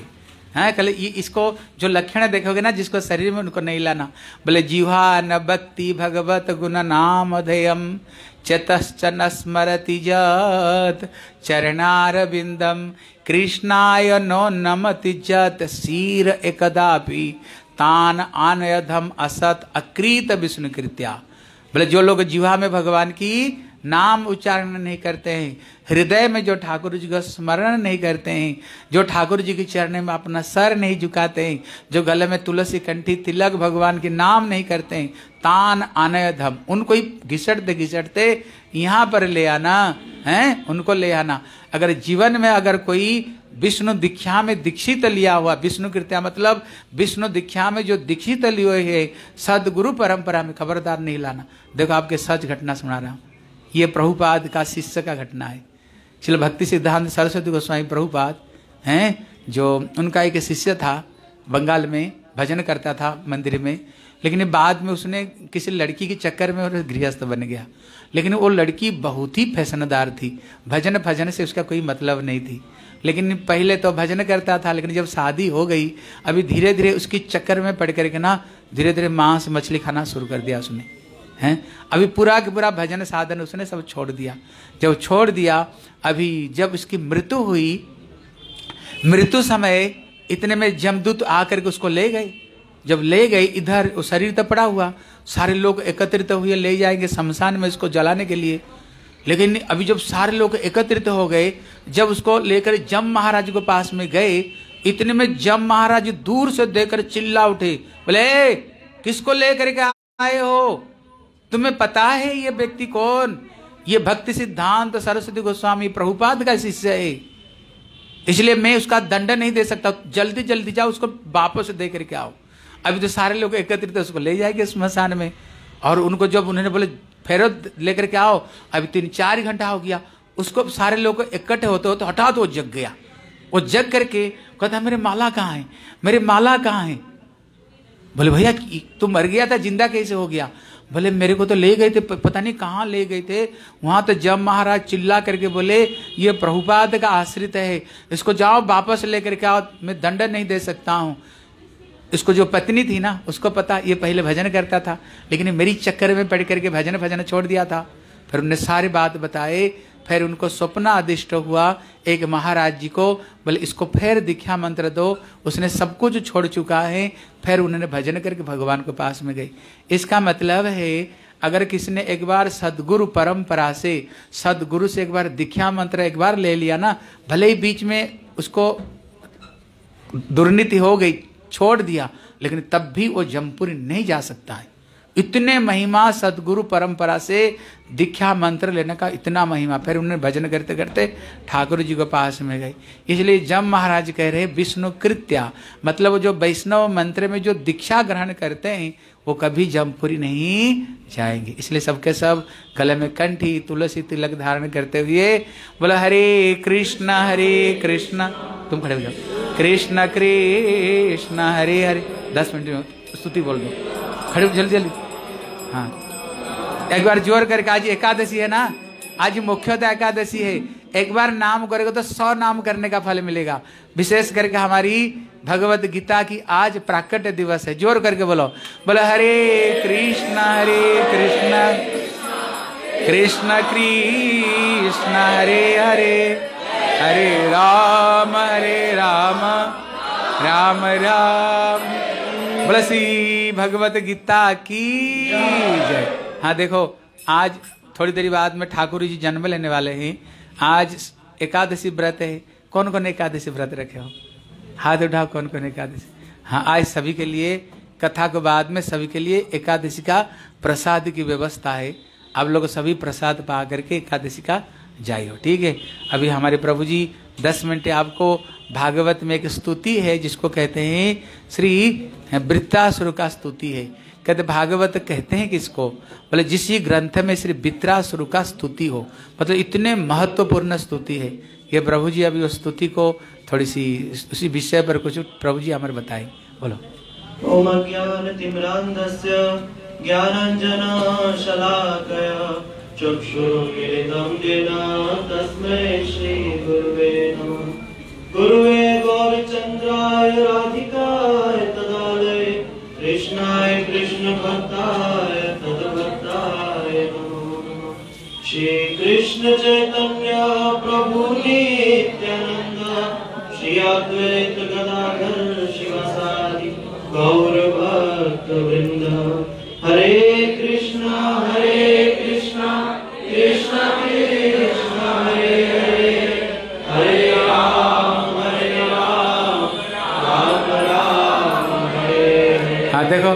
आज भगवान बामन देव जन्म लेंगे। किसी बच्चे को बा, बामन भगवान बनाया? किसी बच्चे को? बना दिया ना? ठीक है बहुत अच्छी बात है ठीक है। सुन गौर सुंदर बच्चे को देख लेना ठीक? हाँ बोलो। सर्वप्रथम मेरे गुरु भक्ति वेदांत प्रणाम करता हूँ। तदुपरांत श्री श्रीमद भक्ति वेदांत श्री नारायण गोस्वामी महाराज जी के अभय में मेरा अनंत कोटि दंड प्रणाम। तत्पश्चात यहाँ उपस्थित वैष्णव, वैष्णवी, माता, भाई, बहन, प्रभु, सभी के चरणों में मेरा यथा योग्य दंड प्रणाम गुरु जी ने आज्ञा दी है वृत्तासुर की स्तुति सुनाने के लिए। ये वृत्रासुर सुनने में एक असुर वृत्त असुर का नाम वृत्तासुर कैसे पड़ा? जिन्होंने जन्म के साथ ही पूरे वृत्त को आवृत कर दिया। पूरा आकाश भयंकर रूप बड़ा एक समय की बात है, जो देवता थे वो राक्षसों से हार गए, दैत्यों से हार गए। और स्वर्ग पे किसका राज्य हो गया? दैत्यों का राज हो गया। इंद्र बड़े परेशान। मैं जल्दी जल्दी कथा में शॉर्ट में सुना देंगे, क्योंकि स्तुति में है तो इंद्र, राज्य किसका हो गया? दैत्य का राज्य हो गया। इंद्र बड़े परेशान। उन्होंने पूछा, क्या उपाय करें? उन्होंने बृहस्पति की मदद से, गुरु की मदद से, उन्होंने वापस से इंद्र पद को जीत लिया। जब वापस से जीत लिया तो यहाँ पर क्या हुआ कि वहाँ पर, जैसे हम लोग कुछ अच्छा काम हो जाता तो हम लोग क्या करते हैं? पार्टी करते हैं। और वो देवता लोग भी सब लोग उत्सव मना रहे थे। लेकिन उत्सव मनाते मनाते वहाँ पर बीच में कौन चले आए? उनके गुरु। उनके गुरु कौन है? बृहस्पति। देवता के गुरु कौन है? बृहस्पति। जब बृहस्पति आ रहे थे तो उन्होंने मन में ऐसा सोचा कि कहा हम लोग उत्सव मना रहे बीच में ये गुरु जी आ गए, हमारे उत्सव में क्या पड़ेगा? गुरु जी देखते से इस बात को समझ गए और वहाँ से अप्रकट हो गए। थोड़ी देर में इंद्र को पता चल गया कि मेरे से बहुत बड़ी गलती हो गई है। मेरे गुरु जी के चरणों में अपराध हो गया है। और इंद्र जो था, वो गुरु जी को वोट उठा, लेकिन गुरु जी नहीं मिले। बृहस्पति वहाँ से चले गए। और जब गुरु नहीं होने से क्या होता है? कमलम जलाद पेतम शोषयती, रविर न पोषयती। जैसे सूर्य जो है, वो कमल का पोषण करता है, लेकिन जल हटा दो तो उसी का शोषण कर देता है, उसी को खत्म कर देता है। उसी प्रकार गुरु कृपा नहीं होने से जो था, इंद्र बहुत कमज़ोर हो गया। ये बात दैत्यों के गुरु शुक्राचार्य को पता चली। उन्होंने बोला, ये बहुत सही समय है। दैत्यों को बोला, वापस से हमला करो। और स्वर्ग को जीत लो और हमला किया और आसानी से इंद्र हारी गुरु तो है हार गया। इसलिए वहाँ पर फिर से राज्य किसका हो गया? असुरों का राज्य हो गया। अब इंद्र बड़ा परेशान, क्या उपाय किया जाए? गुरु जी भी नाराज़ है, वो भी हमें मदद नहीं कर रहे तो बड़ी मुश्किल से उन्होंने ऋषि के पुत्र, जो विश्व उनसे उन्होंने यज्ञ करवाया और उसके यज्ञ के अंदर उन्होंने क्या करा? जो यज्ञ करवा करके ऐसा शत्रु, ऐसे व्यक्ति को उन्होंने प्राप्त करने की कामना करी, जो किसका वध करे? जो वध करे, दैत्यों का वध करे। लेकिन उसके अंदर वो जो आहुति देते देते, आहुति जो दे रहे थे, आहुति देते देते उसके अंदर क्या हो गया? गड़बड़ हो गई शब्द की। क्या हो गई? गड़बड़ हो गई। शब्द में गड़बड़ होने से क्या हुआ? ऐसा ऐसा असुर प्रकट हो जो इंद्र को मारे। उसकी वजह क्या हो गया? ऐसा असुर प्रकट हो जो जिस, जि, जिसको इंद्र मारे ये गड़बड़ हो गई वहाँ पर। अब सीधा चले अभी वापस से युद्ध हुआ। अब यहाँ पर कौन राक्षस कौन बनकर आए हैं ये? वृत्तासुर बहुत बड़ा राक्षस। इतना बड़ा राक्षस जैसे बताया ना थोड़ी देर पहले वित्र असुर जिन्होंने जन्म के साथ ही पूरा आकाश को जिन्होंने ढक दिया। इतना बड़ा असुर जिसको देख करके सारी सृष्टि कांपने लगी इतना भयानक। अब दैत्य और देवताओं में युद्ध शुरू हुआ। और जैसे ही विद्रासुर ने हमला चालू करा, सारे दैत्य भाग गए अब क्या किया जाए? इतने बड़े राक्षस से कैसे लड़ा जाए? बड़ा मुश्किल है। उन्होंने फिर प्रार्थना करी, भगवान से भगवान बचाओ। ब्रह्मा जी के पास में गए, उधर जाके पता चला, भगवान उनको बोलते, जाओ ददीची ऋषि हैं, उनकी हड्डियों से वज्र बनाओ। उसी से ही इस वृद्धासुर की मृत्यु हो सकती है। उसी से ही वृद्धासुर मरेगा, और कोई उपाय नहीं है। सारे ऋषि, सारे जो देवता है, वो ददीची ऋषि के पास आते कहते हैं, ऋषिवर आपका तो पूरा जीवन ही जो ऋषियों का साधुओं का जीवन क्या होता है? जगत कल्याण के लिए होता है। आप लोग आप हमारी मदद कीजिए। आपकी हड्डियों से ही वज्र बन सकता है। देखो क्या मांग रहे हैं? हड्डी मांग रहे माने क्या बोल रहे हैं? आप मर जाओ और हमें स्वर्ग का राज मिल जाए। ऐसा हो गया वहाँ पर। लेकिन ऋषि दयालु थे उन्होंने क्या करा? अपनी हड्डी दे दी वहाँ पर। उन्होंने एक, प्रोसेस थी उसके थ्रू उन्होंने वो हड्डी ली वज्र बना लिया। अब जब वापस युद्ध हुआ अब इंद्र के पास कौन सा वज्र है जिससे वित्रासुर मर सकता है? वित्रासुर बहुत बड़ा असुर है। और वापस से युद्ध चालू हुआ। और युद्ध चालू हुआ तो अब ये वित्रासुर जो है, यहाँ पर बहुत अद्भुत यहाँ पर एक भगवान की स्तुति कर रहे हैं। बहुत अद्भुत यहाँ पर भगवान की स्तुति कर रहे हैं वित्रासुर वो कह रहे हैं, हमला कर रहा है इंद्र। और इंद्र के हमले से उनके हाथ काट रहा है इंद्र। उनपे उनपे, उनके जो शरीर को पूरा क्षतिग्रस्त कर रहा है। उसी बीच में जो वित्रासुर है, भगवान की ही कृपा से उनको भगवान का स्मरण होता है भक्ति की कृपा से जो उन्होंने भक्ति कभी की थी, उसी की प्रकार उसी के प्रभाव से उन्हें स्मरण होता है। और वो ब्रज ब्रज जो देख रहे हैं ना, वो ब्रज मतलब किसका ब्रज, किसकी हड्डियों से बना था? दधीची ऋषियों की। उसमें ऐसा प्रभाव था कि उसको देखते के साथ ही विद्यासुर में भगवान की अनुभूति वहाँ पर हो रही है। तो भगवान की अनुभूति करते हुए वहाँ पर बड़ी सुंदर स्तुति कर रहे हैं। इसके प्रथम श्लोक में वो कहते हैं अहम हरे तव पादे कमूला दासानुदास भवितास्मि भूया मनास्मृतासु पतेर्गुणस्ते गृणीत वाग कर्म करो तुकाया देखो, एक असुर की देखो कैसे स्तुति। वो कह रहे प्रभु अहम हरे तब पादे को मूला। आपके चरणों के जो दास हैं, उनका दास मुझे बना दो। माने जो भगवान के चरणों के जो दास हैं, उनका दास मुझे बना दो। और क्या करो, जिससे कि मैं क्या करूँ? जिससे कि मैं सारा जीवन आपके गुण कीर्तन करूँ, आपकी मधुर मधुर लीलाओं का कीर्तन करूँ अपने मुख से। और इन, इस शरीर से क्या करूँ? आपके भक्तों की और आपकी सेवा करूँ। ऋणीत पाप कर्म करो तु काया। कितनी सुंदर यहाँ पर ये विद्रा सुन विद्रा सुनने स्तुति कर यहाँ भगवान कहते हैं, हमारे टीकाकार बता रहे भगवान कहते हैं, अरे, मैं सामने खड़ा हूँ और मुझसे ये सब क्या मांग रहे हो कि मैं भक्तों का दास बना दो, ये बना दो, वो बना दो? मैं तुम्हें स्वर्ग दे देता हूँ। स्वर्ग ले लो, मोक्ष ले लो, सिद्धियाँ ले लो, अष्ट सिद्धि नौ निधि ये सब ले लो। लेकिन दूसरे श्लोक में फिर उत्तर देते हैं क्या बताया दूसरे श्लोक में, क्या बताते हैं? प्रेष्टम न च पारमेष्टम न सार्वभौमम न रसाधिपत्यम नायोग सिद्धिर पुनर्भवम कांची रहे प्रभु प्रेष्टम मेरे को ये ये जो पृथ्वी का राजा महाराजा नहीं बनना मुझे स्वर्ग का राज्य भी नहीं चाहिए। और उसके ऊपर तप जन मोह इन लोगों का भी मुझे सुख, भोग नहीं चाहिए। भगवान कहते सिद्धि बोला सिद्धियाँ भी नहीं चाहिए। और भगवान कह रहे मोक्ष, मुक्ति ले लो। मुक्ति भी नहीं चाहिए। क्या नहीं चाहिए? मुक्ति। और धर्म, अर्थ, काम और मोक्ष, सारी दुनिया को साथी मोक्ष मिल जाए, ये मोक्ष को भी ठोकर मारती है यहाँ पर। ऐसा क्या चाहिए इनको?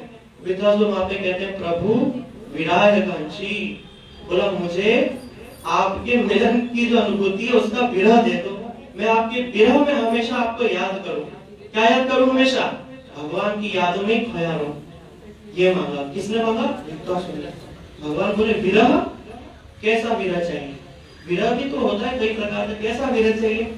यहाँ पे वो तीसरे श्लोक में बता रहे हैं। यहाँ पे बोल रहे हैं, अजात पक्ष इव मातरम खगा स्तन्यस्यथावस्तर प्रियं प्रियेव वयुषितं विष्णुना मनोर्विन्दाक्ष दिदक्षते त्वाम्। कह रहे हैं, अजात पक्ष, बोला, प्रभु, मैं आपको कैसे याद करूँ? जैसे अजात पक्ष, जैसे अभी चिड़िया के अंडे से बच्चा निकलता है ना तो डरा हुआ रहता है। इधर उधर घबराया हुआ, चिड़िया गई हुई है बाहर दाना लेने के लिए, लेकिन बच्चा अकेला है। बाज ना खा जाए कोई जानवर ना खा जाए सांप ना आ जाए बड़ा भयभीत रहता है। तो बच्चा क्या करता है? मुँह फाड़ फाड़ के अपने माता पिता को याद कर। तो ये कह रहे हैं प्रभु मैं भी आपको ऐसे ही याद करूँ। भगवान कहते अच्छा चिड़िया की जैसे।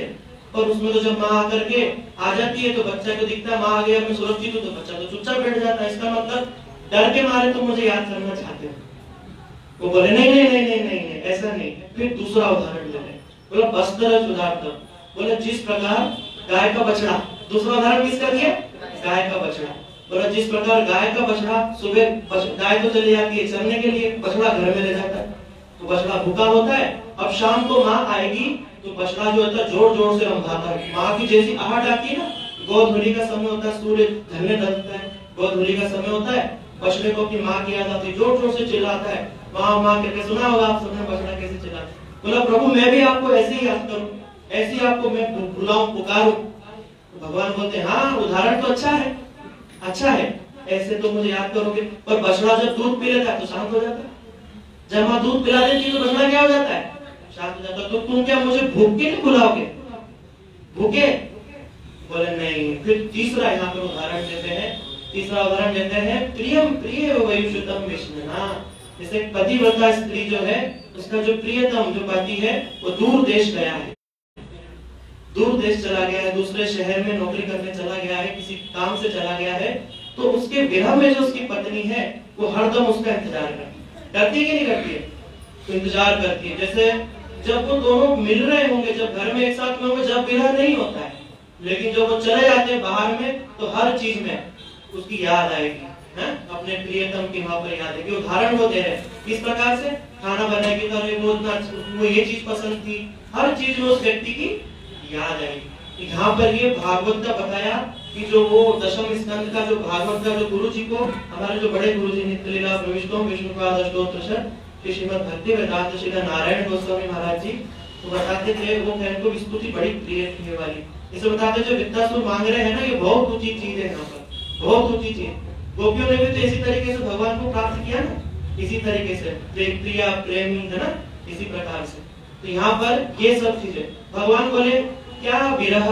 ये सब मुक्ति लो जन्म मरण के चक्कर से छूट जाए। और आनंद में रहो।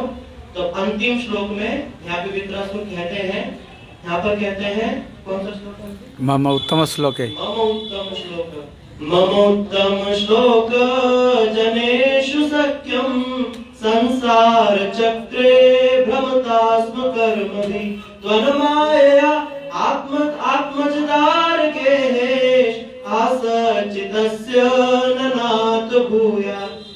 मम उत्तम श्लोक। या भगवान का नाम क्या बताया?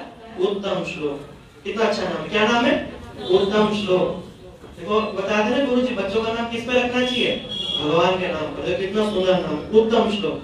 मम उत्तम श्लोक। उत्तम श्लोक का अर्थ है, जिन श्लोकों से भगवान की स्तुति करी जाती है, वो उत्तम होते हैं। या फिर जो उत्तम होता है, उन्हीं श्लोकों से भगवान की स्तुति की ये उत्तम श्लोक का अर्थ यहाँ पर बताया। मम उत्तम श्लोक जनेशु सत्यम बोला, मैं आपसे मोक्ष नहीं माँगता कि मैं ये जन्म मरण के चक्कर से छूट जाऊँ, मुझे नहीं चाहिए। मैं अपने कर्मों के अनुसार बार बार यहाँ जन्म लू, मरू, मुझे कोई आपत्ति नहीं, मुझे बार बार आने में कोई समस्या नहीं है। बस आप एक काम करना, मुझे क्या करना? अपने जो प्रिय भक्त हैं, उनका संग मुझे प्रदान कर देना। क्या कर देना? संग साधु संग प्रदान करते कर देना और जो लोग, ये जो आसन चित से ननाथ भैया जो क्या करते हैं, संसार में आते हैं, पति, पुत्र, स्त्री, धन, देह, गेह, में जो लगे हुए हैं, इसके अलावा जिनको कोई भगवान से मतलब नहीं, ऐसे लोगों से मुझे दूर रखना। ये भागवत के बड़े ही चार, ये मधुर और बड़े शिक्षा प्रद ये श्लोक यहाँ पर बताया। यहाँ पर साधु संघ की और जो भक्तों के संघ की महिमा यहाँ पर बताई है। एक और उदाहरण। देखो भक्तों की संगति कैसी महिमा आप सभी ने रामायण सुनी है ना? है ना? सभी ने रामचरित मानस सुनी होगी, रामायण सुनी होगी। जब हनुमान जी समुद्र पार करके लंका पे गए हैं, है ना? लंका में गए हैं, वहाँ पर सबसे पहले कौन मिली? लंकिनी में लंकिनी, बड़ी भयानक राक्षस। हनुमान जी छोटा सा रूप, मसक रूप, मसक मारे मच्छर जैसा छोटा रूप बना करके हनुमान जी लंका में प्रवेश करने का प्रयास करे लंकिनी कहती है कौन है? रुको, कहा जा रहे हो अंदर? किसकी आज्ञा से जा रहे हो तुम? जानते नहीं, मेरे होते कोई लंका में प्रवेश नहीं कर सकता विदाउट माई परमिशन तुम्हारा कार्ड किधर है? हनुमान जी बोले, कह रहे हनुमान जी कुछ ज़्यादा बात नहीं करी। बस खड़े हुए, उन्होंने सोचा कि मैं तो सोच रहा था कि स्त्री जाति है। क्यों किसी को मारना, स्त्री जाति को मारना ठीक नहीं है, इसलिए मैं तो सीधा सीधा छोटा रूप बना के अंदर जा रहा था। लगता है इसके मन में मृत्यु लिखी है। इसके भाग्य में हनुमान जी खड़े एक मुक्का धड़ाम करके मुख दे दी लंकिनी के और लंकिनी के तो पूरे के पूरे होश उड़ गए। अलंकिनी जो है, मरने से पहले एक बात कह रही है, बोला, तुम कौन हो? उन्होंने बताया, मैं हनुमान। बोला, ब्रह्मा ने जब मुझे पूरी सृष्टि की जिसकी रचना करी थी, लंका, बोला, मेरे को भी सृष्टि हुई थी। और मुझे ब्रह्मा जी ने वरदान दिया था कि तुम इस लंका की सुरक्षा करना और ये लंका का अंत कब होगा? जब तुम्हें कोई आकर के मुका मारे, कोई मारे, जिसके तुम मर जाओ। समझ लेना लंका का अंत आ गया। देखो वहाँ पे लंकिन ने कितनी अच्छी बात कही है। तात, स्वर्ग अप वर्ग सुख, धैर्य धैर्य तुलाय कंक तुले न सके सब मिली, जो सुख लब सतसंग। वहाँ पे वो लंकिनी कह रही है लब एक लब इतना छोटा सेकंड का भी पता नहीं हज़ारों भाग जो लब होता है, उतना ही संग मिला उसको साधु संग वो भी साधु संग में क्या मिला? मुक्का किसका मुक्का मिला? उसी में उसका उद्धार हो गया। एक मुक्का तो इससे पता चल सकता है कि हनुमान जी की स्पीड भी क्या रही होगी मुक्का मारने की। मतलब एक सेकंड के हज़ार हिस्से मुक्का मार दिया। हम कहीं भी जल्दी मार सकते हैं मुक्का ये साधु संघ की महिमा। ये साधु संघ साधु संघ सर्व शास्त्र का है मात्र साधु संघ सर्व सिद्धि है। इसी चीज़ को बताने के लिए बार बार बार बार गुरु जी बार बार बार बार भगवान, आज ही के दिन पाँच हज़ार साल पहले कुरुक्षेत्र में ज्योति साल में, अर्जुन को भी यही सब ज्ञान भगवान गीता के अंदर में दे रहे हैं। आज बहुत ही अच्छा दिन है वही आज दिन है गीता जयंती। हम लोग यहाँ बैठ करके भागवत सुन रहे हैं। सभी शास्त्र, वेद, पुराण का सार क्या है? भागवत। हम लोग यहाँ बैठ करके सुन रहे हैं हमारा बहुत ही सौभाग्य है। उसमें मैं भी कुछ बोला मेरा भी सौभाग्य है। आप लोग मुझे आशीर्वाद दें। मेरी भक्ति को यही बोल करके मैं अपनी वाणी को विराम देता बोला श्री वृंदावन बिहारी लाल की बोला श्री बामन भगवान की उस, उसको तैयारी करे रखना। हाँ देखो अक्सर करके ये देवता दैत्य में लड़ाई होती थी। अभी देवता लोग जब हार जाए हैं, जब दैत्य लोग हार जाए, इनका गुरु शुक्राचार्य वो संजीवनी मंत्र से चेले को जीवित कर देते हैं। लेकिन जब देवता मर जाते हैं ना, वो मरी जाते हैं। एक दिन देवता लोग गए, ठाकुर जी के पास में बोले ये अमर कैसे मनेंगे? बोले, ये समुद्र मंथन करो। समुद्र मंथन से जो अमृत निकलेगी, उसको पान करोगे तो अमृत को प्राप्त करेगी। जब उन्होंने समुद्र मंथन की सबसे पहले हलाहल विष निकला तो भोले बाबा को प्रार्थना की, शंकर जी टन के टन उन्होंने विष को पान करके अपना कंठ में धारण कर लिया। इसलिए शंकर जी का एक नाम पड़ गया नीलकंठ। बोले, श्री नीलकंठ महादेव की। हाँ शंकर जी शिक्षा क्या देते हैं? कोई भी गंदी चीज़ हो ना, अपना दिल में नहीं रखनी चाहिए। अरे, बीस को दिल में नहीं रखे, बोले, मेरे दिल में तो ठाकुर जी बैठे हुए गोविंद देव वहाँ पर कैसे रखे? इसलिए अपना मुँह में नहीं रखे, बोले मुँह में अगर कोई गंदी चीज़ रखोगे, फिर तो लड़ाई झगड़ा होगा। इसलिए पहले सुना था ना, द्रौपदी ने इतना बोल दिया, अंधा का बेटा अंधा होता है, इसलिए महाभारत पूरा हो गया। रामायण क्यों हो गई? बोलो। मैया सीता ने थोड़ी सी लक्ष्मण को थोड़ी सी कड़ी वचन सुना दी। जिस समय मारिच ने हिरण बन करके आए, बोले, ये हिरण को ला दो, भगवान राम गए, जाते समय उन्होंने लक्ष्मण को बोले सीता को छोड़ कर नहीं जाना। इतने में जब मारिची जब ज़ोर से फुकाराल भैया लक्ष्मण! सीता जी ने बोला, आपने सुना है? तेरे बड़े भैया पर कोई विपत्ति पड़ी। लेकिन लक्ष्मण को बता, राम तो भगवान उनको पर क्या विपत्ति आएगी? बोले, प्रभु को पर विपत्ति आ ही नहीं सकती है। मैं तो भैया का आदेश पालन करूँगा। इतने में मैया सीता ने बोला, अभी मैं समझ रही हूँ, तू साथ में क्यों आया था? ओ, ये सोच रहे हो, राम मरेगा तो तुम मेरे शादी करोगे? लक्ष्मण तो जिनको अपना आराध्य देवी माँ मानती हैं, अगर ऐसे बच्चे ने बोले कैसे सहन कर सकती है? फिर उन्होंने लक्ष्मण रेखा को काट कर गए। बोले, एक काम करियो, ये लक्ष्मण रेखा को कहीं पार नहीं करना। बोले, ठीक है, लेकिन सीता ने दो गलती की। पहले तो अपना जीवा चलाई, और दूसरा बार उन्होंने ये लक्ष्मण रेखा को पार किया तो रावण ने क्या किया? उठा करके ले गया। देखो, माताओं को सावधान कर रही है। नहीं तो रामायण महाभारत घर में जाएगी। हैं? पहले तो ये जीवा का चलाना नहीं। घर में क्यों लड़ाई होता है? भाई भाई में बहू बहू में, परिवार में, केवल ये जीवा की वजह से। थोड़ी सी कोई उल्टा पुल्टा बात बोल दिया, बस घर में महाभारत। दूसरा चीज़ उदाहरण दिया। देखो, स्त्रियों को कभी भी अपना अपना मर्यादा रेखा को कहीं पार मत करो, नहीं तो रावण उठा कर ले जाएगा। कौन उठा कर ले जाएगा? बोले रावण तो वो तो त्रेतया युग में था बोले उसी समय तो एक रावण था, अभी घर घर में रावण हो गए। वहाँ पर एक रावण अभी घर घर में रावण हो गया, इसलिए कभी भी अपना मर्यादा को उल्लंघन नहीं करनी चाहिए। उस शिक्षा दी है। अभी फिर समुद्र मंथन हुई तो दिव्य दिव्य रत्न निकली। फिर जब धनवत अमृत लेकर के उठा फिर तो लड़ाई शुरू हो गई। दैत्य लोग ज़ोर ज़बरदस्त छीन लिए। ठाकुर देखा, अगर ये अमृत पी लेंगे, अमर बन जाएँगे। फिर ठाकुर जी महीने अवतार लेकर के उन्होंने अमृत को देवता को उन्होंने पिला दिया। जब देवता को पिला दिया, फिर तो बलि महाराज को बड़ा क्रोध आया। उनने फिर विश्वजित यज्ञ किया। यज्ञ से एक रथ निकली अस्त्र शस्त्र को साथ में। स्वयं प्रहलाद महाराज, हैं कहते से नरसिंह देव का प्रसाद माला ला करके उनको गले में दिया, ब्राह्मण को सेवा करके फिर देवताओं के ऊपर फिर उनने चढ़ाव किया। मार मार करके उनको स्वर्ग से उन्होंने भगा दिए। जब भगा दिए स्वर्ग से, इतने में उनकी जो माता अदिति ने कश्यप ऋषि से पूछे, मेरे बेटे को स्वर्ग राज्य कैसे मिलेगा? बोले, एक पय व्रत करो, केवल दस बारह दिन का भगवान बामन बन करके आएँगे। फिर ठाकुर जी बामन बन करके आते हैं। बोले, श्री बामन भगवान की अभी श्री अभी उनको उपनयन संस्कार हुई। नियम है, जब बच्चे का उपनयन संस्कार हो, उसी समय में उसको गुरु दक्षिणा देनी चाहिए।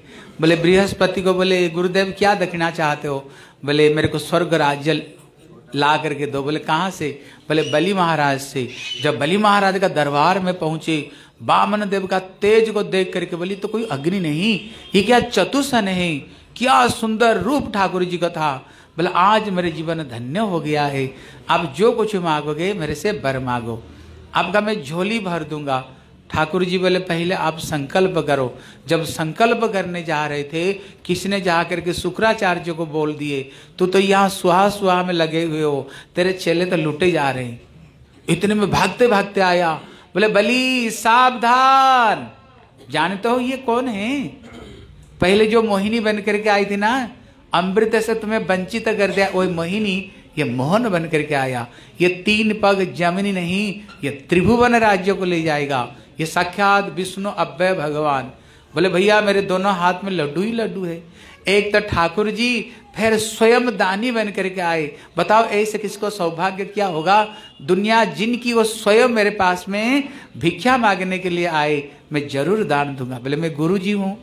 मेरे आदेश पालन नहीं करोगे? बोले, नहीं। बोले, मैं तुमको अभिशाप देता हूँ तो श्री भ्रष्ट हो जाओगे। बोले, कुछ भी हो, मैं भगवान को दान दूँगा। हैं, देखो उन्होंने गुरु जी को उन्होंने त्याग दे दिया। बोले, देखो, नियम है गुरु जी को त्याग नहीं देनी चाहिए, पाप लगता है, लेकिन उन्होंने गुरु जी को त्याग कैसे दे दिया? कारण क्या? बोले, कारण है, बोले गुरु जी का काम किया है? बोले, अखंड मंडलाकारम व्याप्त जैन चराचरम तत्पद दर्शितम जैन तस्मय श्री गुरु नमो। गुरु का काम है जो भगवान कण कण में व्याप्त है, उनकी चरण को जो दर्शन कराइए गुरु, लेकिन गुरु जी क्या कहते हैं? बोले, ठाकुर को मत दिया करो। बोले, तुम फिर गुरु कैसे हो? इसलिए उन्होंने गुरु जी को उन्होंने त्याग दे दिया। इसलिए शास्त्र में बताया है, अवैष्णव उपदेष्टन मंत्रण निरम ब्रजत अगर गुरुदेव वैष्णव नहीं हो, शुद्ध वैष्णव परंपरा में नहीं आते हैं, उनको त्याग देने में कोई दोष नहीं दोष नहीं है। फिर उन्होंने जब संकल्प करने के लिए गए, फिर कीड़े बन करके बैठी गई कुश में छेद किया तो आग ही चली गई। इसका शिक्षा देते हैं, देखो सत्कर्म में कभी भी बाधा नहीं देनी चाहिए, नहीं तो काना बन करके जन्म लोगे।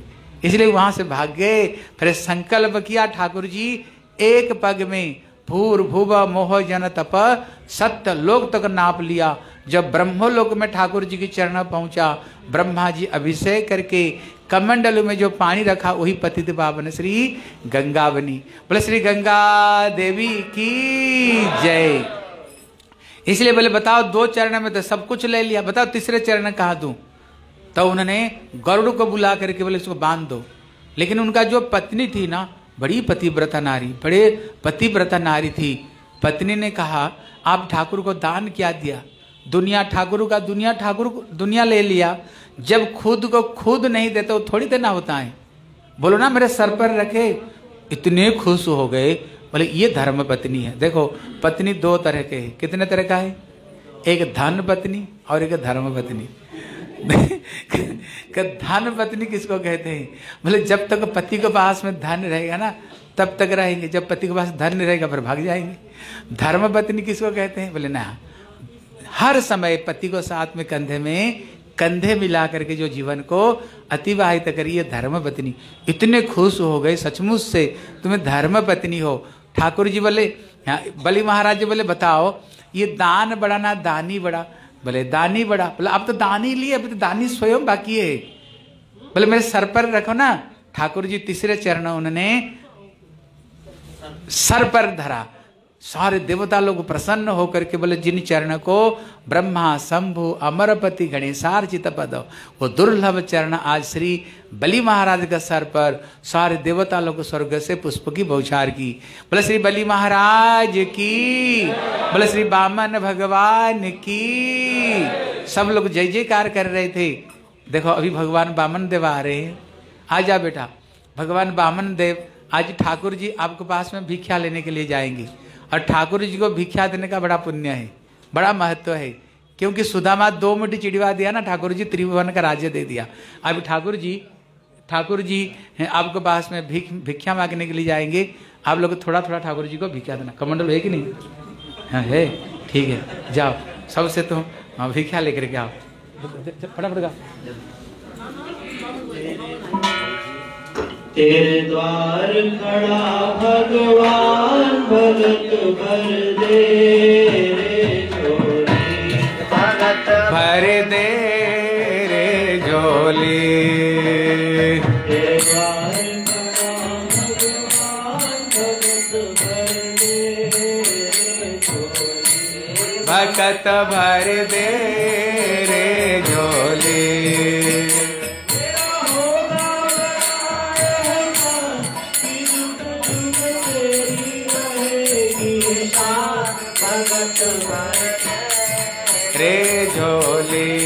भगत भर दे रे झोली।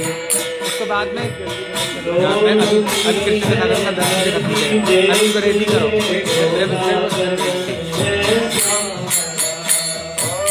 डोली उठी डोला जगत है सारा।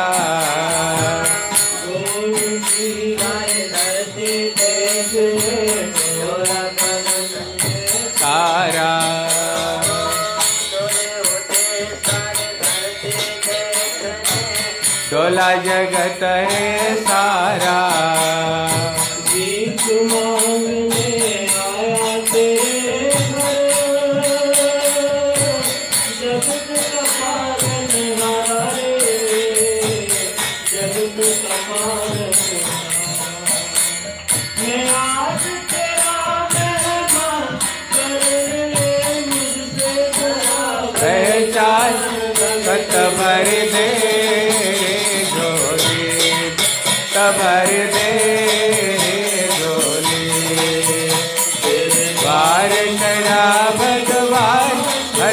भर दे भर दे रे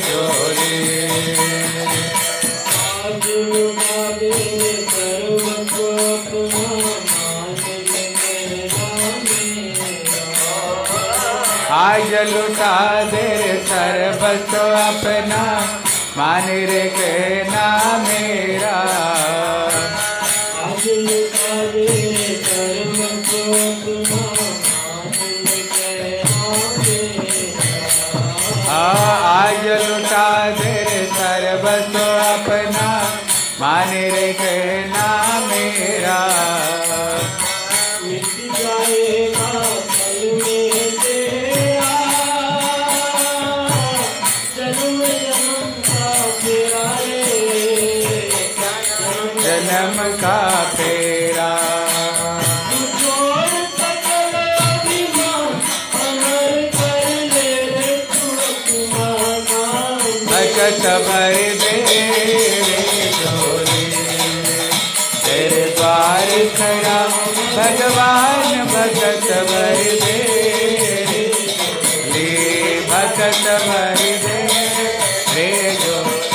बोले, श्री बामन भगवान की। बोले, कथितो वंश विस्तारो, भवता सोम सूर्ययो राज्ञाम चोभय वंशानाम चरितम परमाद्भुतम। अभी कृष्ण जन्म लेने वाले। अभी सुखदेव गोस्वामी, उन्होंने एक श्लोक बोल करके पूरी कृष्ण कथा को समाप्त कर दिया। कैसे कृष्ण मथुरा में कंस के कारागार में प्रकट हुए? गोकुल में कैसे गए और नंद के आनंद भयो। जय कन्हैया। ज़ोर से बोलो। जय कन्हैया। कैसे वहाँ धूमधाम उत्सव भयो। कैसे उन्होंने कंस अघासुर, बकासुर को कैसे मारे। कृष्ण कैसे गिरिराज को धारण किया। कृष्ण कैसे रास रचाए। फिर कृष्ण कैसे कंसों को मथुरा में उधार करके द्वारका में गए। सोलह हज़ार एक सौ आठ पटरानियों से शादी हुई, सब पत्नियों से दस दस बेटे एक एक बेटी हुई और ठाकुर जी ऋषियों से अभिशाप को ग्रहण किए और प्रभास क्षेत्र में ठाकुर जी अंतिम लीला को करके अपना गोलक वृंदावन में ठाकुर जी चले गए। इतना बोल करके बोले, श्री कृष्ण कन्हैया, लाल की जय बोल करके ना ठाकुर, सुखदेव गोस्वामी तो चुपचाप हो गए। परीक्षित महाराज बोले, क्या हो गया कृष्ण कथा? पूरी बोल दिया ना? बोले, मैं तो चार दिन से केवल कृष्ण कथा सुनने के लिए बैठा हुआ हूँ, क्योंकि जो कृष्ण है, वो मेरे कुल देवता जब माँ की पेट में था, अस्वस्थ माँ का ब्रह्मास्त्र से कृष्ण मेरे को बचाया। कृष्ण मेरे कुल देवता है, केवल उनकी कथा सुनने के लिए मैं चार दिन से बैठा हुआ। जैसे अगस्त ऋषि एक चूल भर में पूरा समुद्र का पानी को जैसे पान कर लिया। आप तो एक श्लोक में पूरा कृष्ण कथा बोल दिए। उदाहरण दिया, ऐसे क्यों किया? इसका कारण बताए, जैसे जेठ की महीना हो, एकदम चिलचिल्लाई हुई धूप पड़ा हुआ हो, आप आ रहे हो, छाती फट रहा है प्यास के मारे। अगर एक गिलास कोई जूस दे, अब क्या करोगे? एकदम ढक ढक एक साथ में पी लोगे। इसलिए सुखदेव गोस्वामी कौन है? वो राधा रानी की ये प्रिय सुख है। हैं? वो केवल कृष्ण कथा, राधा रानी की कथा बोलना चाह रहे थे। लेकिन चार चार दिन हो गया, कृष्ण कथा ही नहीं आए लेकिन जब उन्होंने पूरा सीरियल में कृष्ण कथा को जब देखा ना, पूरा के पूरा ढक ढक करके पूरा के पूरा एक श्लोक में कृष्ण कथा को बोल दिए। दूसरा कारण है परीक्षित महाराज को परीक्षा कर रहे थे, क्या ये सचमुच से कृष्ण कथा सुनना चाहता? ना ऐसे चुपचाप बैठा हुआ है। जब बोले, कथा तो समाप्त हो गया। बोले, नहीं परीक्षित सुखदेव गोस्वामी बोले, चार चार दिन हो गया, एक बूंद पानी तक भी नहीं पिया। अरे, एक गिलास तो पानी पी लो, चार दिन हो गया। बोले, पानी की वजह से तो इतना गड़बड़ी हुई। इसे पानी की बात मत किया करो। आपका मुख से जो कथा रूपी अमृत बह रही है, उसमें मैं स्नान कर रहा हूँ। जैसे चक्र होता है चिड़िया होता है, जैसे चंद्रमा का किरण को पान करता है, उसी तरह आपका मुँह से जो कृष्ण कथा रूपी मंदाकिनी की नदी बह रही है, उसमें मैं गोता लगा लगा कर तृप्त हो रहा हूँ। इसलिए आप कथा को बंद मत करो। फिर तो उन्होंने पूरा तीन दिन कृष्ण कथा सुनाए बोले, इसमें दो वंश का चर चरित्र आया। एक सूर्य वंश और एक चंद्र वंश सूर्य वंश में भगवान राम आए और चंद्र वंश में भगवान कृष्ण आए। तब बताए जो कृष्ण कथा, जैसे तीन गंगा है। कहते, स्वर्ग में एक गंगा जिसका नाम मंदाकिनी, मरते जगत में एक गंगा जिसका नाम भागीरथी, पाताल में एक गंगा जिसका नाम भोगवती। जैसे ये तीन गंगा तीन जगत को पवित्र करती हैं, कृष्ण कथा भी तीन लोगों को पवित्र करती है। बोले, किसको किसको? बोले, सुनने वाले, बोलने वाले और प्रश्न करने वाले। बोले, कृष्ण कथा कैसे? बोले निवृत तस्सही रूपज्ञ मनाथ जो परम, जो ब्रह्म ज्ञानी कृष्ण कथा में इतने आकर्षण हैं बड़े बड़े ब्रह्म ज्ञानी जब कथा को सुनते हैं, वो सब के सब छोड़ करके कुर्बन अहित की भक्ति, भगवान के प्रेम में डूब जाती हैं। अगर ये भव सागर से कोई पार करना चाहते हैं, बोले, भव औसत छोत्र मन विरामात। भव सागर से पार होने के लिए सबसे जो मीठी दवा है, वो ठाकुर जी की कथा है। फिर उन्होंने कथा सुनाए कैसे कंस बड़ा अत्याचार कर रहा था। पृथ्वी दुखी होकर के ब्रह्मा जी के पास में, फिर भोले बाबा, फिर इंद्र चंद्र को लेकर के कैसे उन्होंने खीर समुद्र में ठाकुर जी को कैसे स्तुति की। ठाकुर जी बोले, हे देवताओं, तुम्हारी दुखों को मैं जान गया हूँ। जाओ देवताओं, जदुवंशी में जन्म ग्रहण करो। हे देवियाँ, तुम लोग सब गोपी बन करके जन्म लो। मैं जल्दी जल्दी आ रहा हूँ। एक दिन कंस अपना बहनी को शादी दे करके बहुत कुछ दहेज दिया। स्वयं सारथी बन करके जब पार ले जा रहा था, आकाशवाणी हुई, रे मुढ़ कंस, जिस देवकी को तुम इतने आनंद पूर्वक विदाई दे रहे हो, इसकी अष्टम गर्भ का संतान तेरे काल बनेगा। कंस देखा, न रहेगा बाँस, न बजेगी बांसुरी। म्यान से तलवार निकाल करके, चोटी पकड़ करके जब बध करने के लिए जा रहा था लेकिन श्री वसुदेव महाराज आनग दुंदुभी आनग दुंदुभी मतलब जब उनने जन्म लिया ना, स्वर्ग में देवता लोग भी नागड़े बजाए। इसलिए ये बहुत श्रेष्ठ व्यक्ति उन्होंने साम, दाम, दंड, भेद नीति से कोशिश किया देवकी को रक्षा करने के लिए। आत्म तत्व तो बहुत दिया, लेकिन इसका बुद्धि सही नहीं हुआ। लास्ट में बोला, देखो, तेरे को पता, मैं कभी झूठ नहीं बोलता। बोले हाँ बोले, मैं सारे बच्चे को तेरे को दे दूँगा। सारे बच्चे को मार डालना। लेकिन शादी का समय में अगर बहनी को मारोगे, दुनिया में सब निंदा करेंगी, बहनी हत्यारा शादी का समय में मारा। इसको कोई जीवन कहता है? बोले, ठीक है। मेरे को अष्टम गर्भ का संतान चाहिए। बोले, सारे बच्चे तेरे को दे दूँगा। पहला बच्चा जब दिया कंस तो खुश हो गया। अपना जन्म हुआ बच्चे को कोई काल को दे सकता है? बोले, ये बच्चे को तू ले जा। अष्टम गर्भ का संतान से मेरा मतलब नारद जी का देखा बड़े गड़बड़ी हो गया। क्यों? भगवान कब आएँगे? जब पाप का घड़ा भरेगी। लेकिन इसके हृदय में तो दया की भाव उमड़ रहा है। ठाकुर आने में देर करेंगे। नारद जी बिना बजाते बजाते आए, कंस को एकांत में एक बगीचा में बुलाए। बोले अभी अभी मैं आ रहा हूँ स्वर्ग से। पितामह ब्रह्मा सारे देवता को लेकर के मीटिंग कर रहे थे। तेरे को मारेंगे कैसे जानते हो? ये जदुवंशी कौन? ये सारे देवता लोग हैं ये तेरे को मारने के लिए सब षडयंत्र बना करके आए। तब एक कमल फूल लाए थे। इसमें आठ पंखुड़िया थी। बता बताओ तो इसमें पहला कौन? आठवां कौन? बोले, एक, दो, तीन, चार, पाँच छः सात, आठ। बोले, उल्टा गिनो। बोले, एक, दो, तीन, चार, पाँच छः सात, आठ। बोले, समझ में आ रहा है कि नहीं? बोले, गुरुजी, बगैर गुरु जी का तो ज्ञान होता ही नहीं। आप ही आप ही बताओ। बोले, देखो देवताओं को पानी समझना बड़ा कठिन। तू तो इधर से एक दो कर रहे हो। अगर वो उल्टा से एक दो करे तो क्या होगा? आठ हो जाएगा एक। और एक हो जाएगा आठ। जब आठ बच्चे जन्म लेंगे, बड़े होंगे कि नहीं? बोले होंगे बोले, सबके सब तरफ़ मिल करके मारेंगे। बोले, सबको मैं मार दू? बोले, भैया, मैं क्यों बताऊ? तू जानता, तेरा बात जानता है। भड़का दिया और नारद जी भाग गई वहाँ से। उसने एक एक करके छह बच्चे को मार डाले। बोले, ये छह बच्चे कौन हैं? शिक्षा देते हैं। अगर कोई भगवान को हृदय में बैठाना चाहते हैं, अष्टम गर्भ में ठाकुर जी आए, बोले, छह बच्चे कौन? कंस कौन? बोले, भय।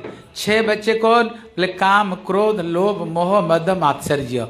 अगर हृदय में ठाकुर को बैठाना चाहते, पहले उसको मारो।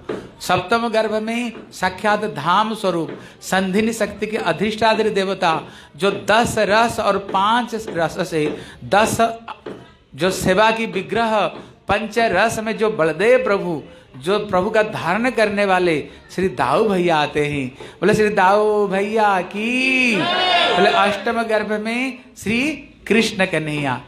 उसका और एक बात बताए, जैसे भक्ति की आठ स्टेजेस हैं। श्रद्धा, साधु संग, भजन क्रिया, अनर्थ निवृत्ति, रुचि, निष्ठा, आसक्ति, भाव और प्रेम। प्रेम अष्टम स्टेज में प्रेम है, हैं? इसी तरह भगवान अष्टम गर्भ में भगवान आते हैं। अभी ठाकुर जी अभी देव देवकी गर्भ में आए, जब देव देवकी गर्भ में आए, एक दिन कंस देखने के लिए आया तो देखकर डर गया, क्या तेज पुंज शरीर से। पूरा के पूरा उजाला हो रहा था, समझ गया, मेरा काल आ गया। खोज रहा था मारने के लिए, लेकिन हिम्मत नहीं हुआ, क्योंकि साक्षात ठाकुर जी आए। अभी दिन रात कृष्ण कृष्ण कृष्ण कृष्ण दिन भर इतने डरा हुआ कंस। अभी ठाकुर जी जन्म लेने वाले सारे देवता लोग आकाश मार्ग में आकर के भगवान को स्तुति कर रहे हैं। बोले, सत्य, व्रतम सत्य, परम त्रिसत्य, सत्य सज्जोनी निहितम च सत्य सत्य स सत्य मृत सत्य नेत्रे, सत्यात्मक शरण प्रपदे।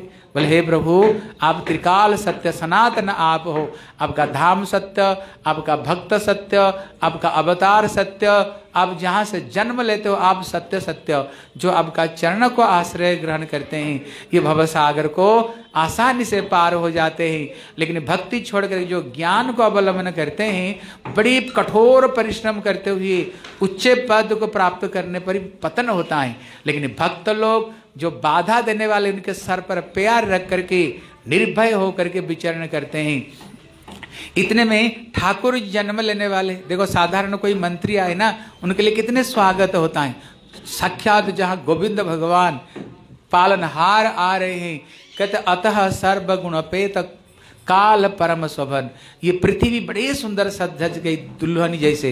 बोले, क्यों पृथ्वी सज गई? बोले, कारण है, ठाकुर जी मेरे को सत्य युग में बराह अवतार में मेरे को पत्नी बनाया था। और तृतीया युग में माता सीता की पृथ्वी से जन्म हुई, प्रभु राम की शादी हुई तो प्रभु राम के साथ में पृथ्वी लग गई, इनकी सांस लगी। अभी द्वापर युग में ये जो पृथ्वी है ये सत्यभमा ही ये पृथ्वी बन करके सत्यभमा रूप में पृथ्वी आने वाली। मेरे को पत्नी बनाएँगे ठाकुर नंगे प्यार में चलेंगे और यमुना नदी तो कलकल कलकल नाद से बह रही थी। बोले क्यों? बोले ठाकुर जी मेरे को भी पटरानी बनाएँगे और बड़े सुंदर सुंदर जल विहार ठाकुर जी करेंगे जमुना कलकल नाद से। बोले श्री कृष्ण के नैया लाल की। जय में आनंद नैया कोई तो जय के हे बोल रहे हो। अभी ठाकुर जी आ रहे ज़ोर से बोलो। बोले श्री कृष्ण के नैया लाल की। अभी जमुना नदी बड़े प्रसन्न हो रही थी, जमुना महारानी, और सारा दुनिया प्रसन्न हो रही है। कमल फूल खिलता है, दिन में, रात में खिल गई, हैं? और जितना नदियाँ माता जी थोड़ी सी खड़ी हो जाओ वहीं पर। थोड़ी सी रुको वहीं। थोड़ी सी रुक जाओ। इसलिए, एक मिनट। इसलिए सारा दुनिया प्रसन्न हो रही है। ठाकुर जी अभी जन्म लेने के लिए ठाकुर जी आ रहे हैं। इतने में भगवान चतुर्भुज रूप में कंस की कारागार में ठाकुर जी प्रकट हुए। देव की वसुदेव बोले, प्रभु, आपको तो हम पुत्र रूप में प्रार्थना की थी। आप तो सोलह साल के हैं, आप तो चतुर्भुज रूप लेकर के घुंगुड़ा लिखे चमकीले वस्त्र लेकर के आए हो। बोले, तुम्हारी पूर्व जन्म को याद दिलाना चाह रहा हूँ। पूर्व जन्म में तुम प्रश्न सुतपा थे। कठोर तपस्या की मेरी सुखे पत्ते खा करके। मैंने जब कहा, क्या चाहते हो? बोले, आप जैसे हमको बेटा चाहिए। देखो, अभी मैं छोटा बालक बन जाऊँगा। मेरे को लेकर गोकुल में रख लेना। वहाँ से एक छोटी बेटी को ले आना। बोले अभी तो हथकड़ी बेड़ी पड़ा हुआ बड़े बड़े ताला कैसे जाऊँगा? बोले कोई चिंता मत करो, केवल मेरे को अपना सर में रख दो, अपनी आप बंधन खुल जाएगी। इसका मतलब है, जब हम ठाकुर जी को आगे लेकर के चले ना, हमारे सारे बंधन हमारी खुल जाएगी। इसलिए सारे बंधन खुल गए, अभी जा रहे हैं इतने में पहरादार सो गए। रिमझिम बारिश ही हो रही थी। साक्षात अनंत देव सर्प रूप में रक्षा कर रहे थे। जब यमुना नदी में पहुँचे, लपालप पानी भरा हुआ। कैसे पार होगा जब पानी में उतरे ना, यमुना भी सोच रही है, कम से कम ठाकुर का चरण स्पर्श तो कर लो। यमुना उफरने लग गई। यहाँ तक पानी आ गई। वसुदेव महाराज डर गए, अभी क्या होगा? कृष्ण को उन्होंने ऊपर उठा दी। बोले, कोई हो तो ले लो मेरे लाला को। अभी भी वो गाँव का नाम को ले वो एक गाँव है वहाँ पर को ले इतने में कृष्णा चरण को पीछे से बढ़ाए, यमुना देवी प्रभु का चरण को स्पर्श करते नीचे हो गई, जोग माया के सियार बन करके आ गए। जब सामने चल रहे थे, बोले, इतने सी पानी? तब तो उन्होंने पार होकर ले गई देखो, आज जो हमने कथा सुनी है, ये कृष्ण कैसे मथुरा में प्रकट हुए कल जो कथा सुनेंगे, इससे प्यारी कथा है कृष्ण कैसे गोकुल में जन्म हुए वो जो कथा है ना, बहुत अच्छी कथा है।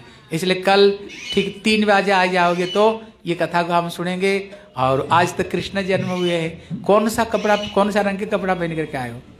सब पीला पीला है ना? कल श्री किशोरी राधा रानी जन्म लेंगे। कल सबके सब गुलाबी रंग के साड़ी पहन कर जाना ठीक है? कल से गुलाबी रंग, ये अनुराग का रंग है। और राधा रानी ये अनुराग प्रेम का मूर्तिमान श्री किशोर जी इसलिए कल श्री राधा रानी की हम कथा सुनेंगे। भैया, ले आओ, भगवान को ले आओ। बोले, श्री कृष्ण के नैया लाल की। बोले, श्री नंद के लाला की। जय जय श्री राधे। बोले सुस्वागतम कृष्ण। ताली बजाते हुए सुस्वागतम कृष्ण। सुस्वागतम एक चेयर दे दो एक चेयर दे दो। सुस्वागतम कृष्ण, शरणागतम कृष्ण। स्वागतम कृष्ण, शरणागतम कृष्ण। सुस्वागतम सुस्वागतम शरणागतम कृष्ण। स्वागतम सुस्वागतम शरणागतम कृष्ण। सुस्वागतम कृष्ण। शरणागतम कृष्ण। स्वागतम कृष्ण। शरणागतम कृष्ण। हाँ देखो आ, आ, आज एकादशी है। आज सभी के लिए हमको प्रसाद तैयारी है। अभी बधाई का कीर्तन होगा हम कुछ लुटाएँगे, जो टफी पपी, लेकिन आज एकादशी कोई खाना नहीं। इसको कोई खाना नहीं, क्योंकि आज एकादशी आज रख लेना, कल उसकी तरफ़ व्रत खोलना। लेकिन आज कोई खाना नहीं टपी को। ठीक है? अभी हम, प्रभु जी बधाई का भजन गाएँगे। और भगवान की जन्म लिया ना ठाकुर जी, आज ये बधाई में जो नाचेगा, उसको चौरासी लक्ष्य में नाचना खत्म। आज का दिन जो नहीं नाचेगा ना फिर उसको चौरासी लख जोन में नाचना पड़ेगा। इसलिए जब प्रभु जी भजन गाए सब के सब प्रसन्न होकर के ठाकुर का भजन में नृत्य करना। प्रभु जी बोलो। नंद लाला जन्म लियो आज,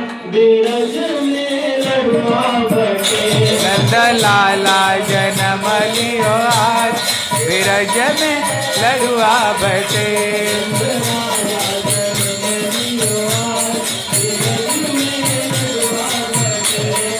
लाला जन्म लियो आज। बिरज में लड़ुआ बटे अंदर ही अंदर आरती करवा दे। समाज में रहे लड़ुआ बटे और गड़ुआ ब... अरे ये लोग चले जाएँगे ना प्रसाद साहब। आगे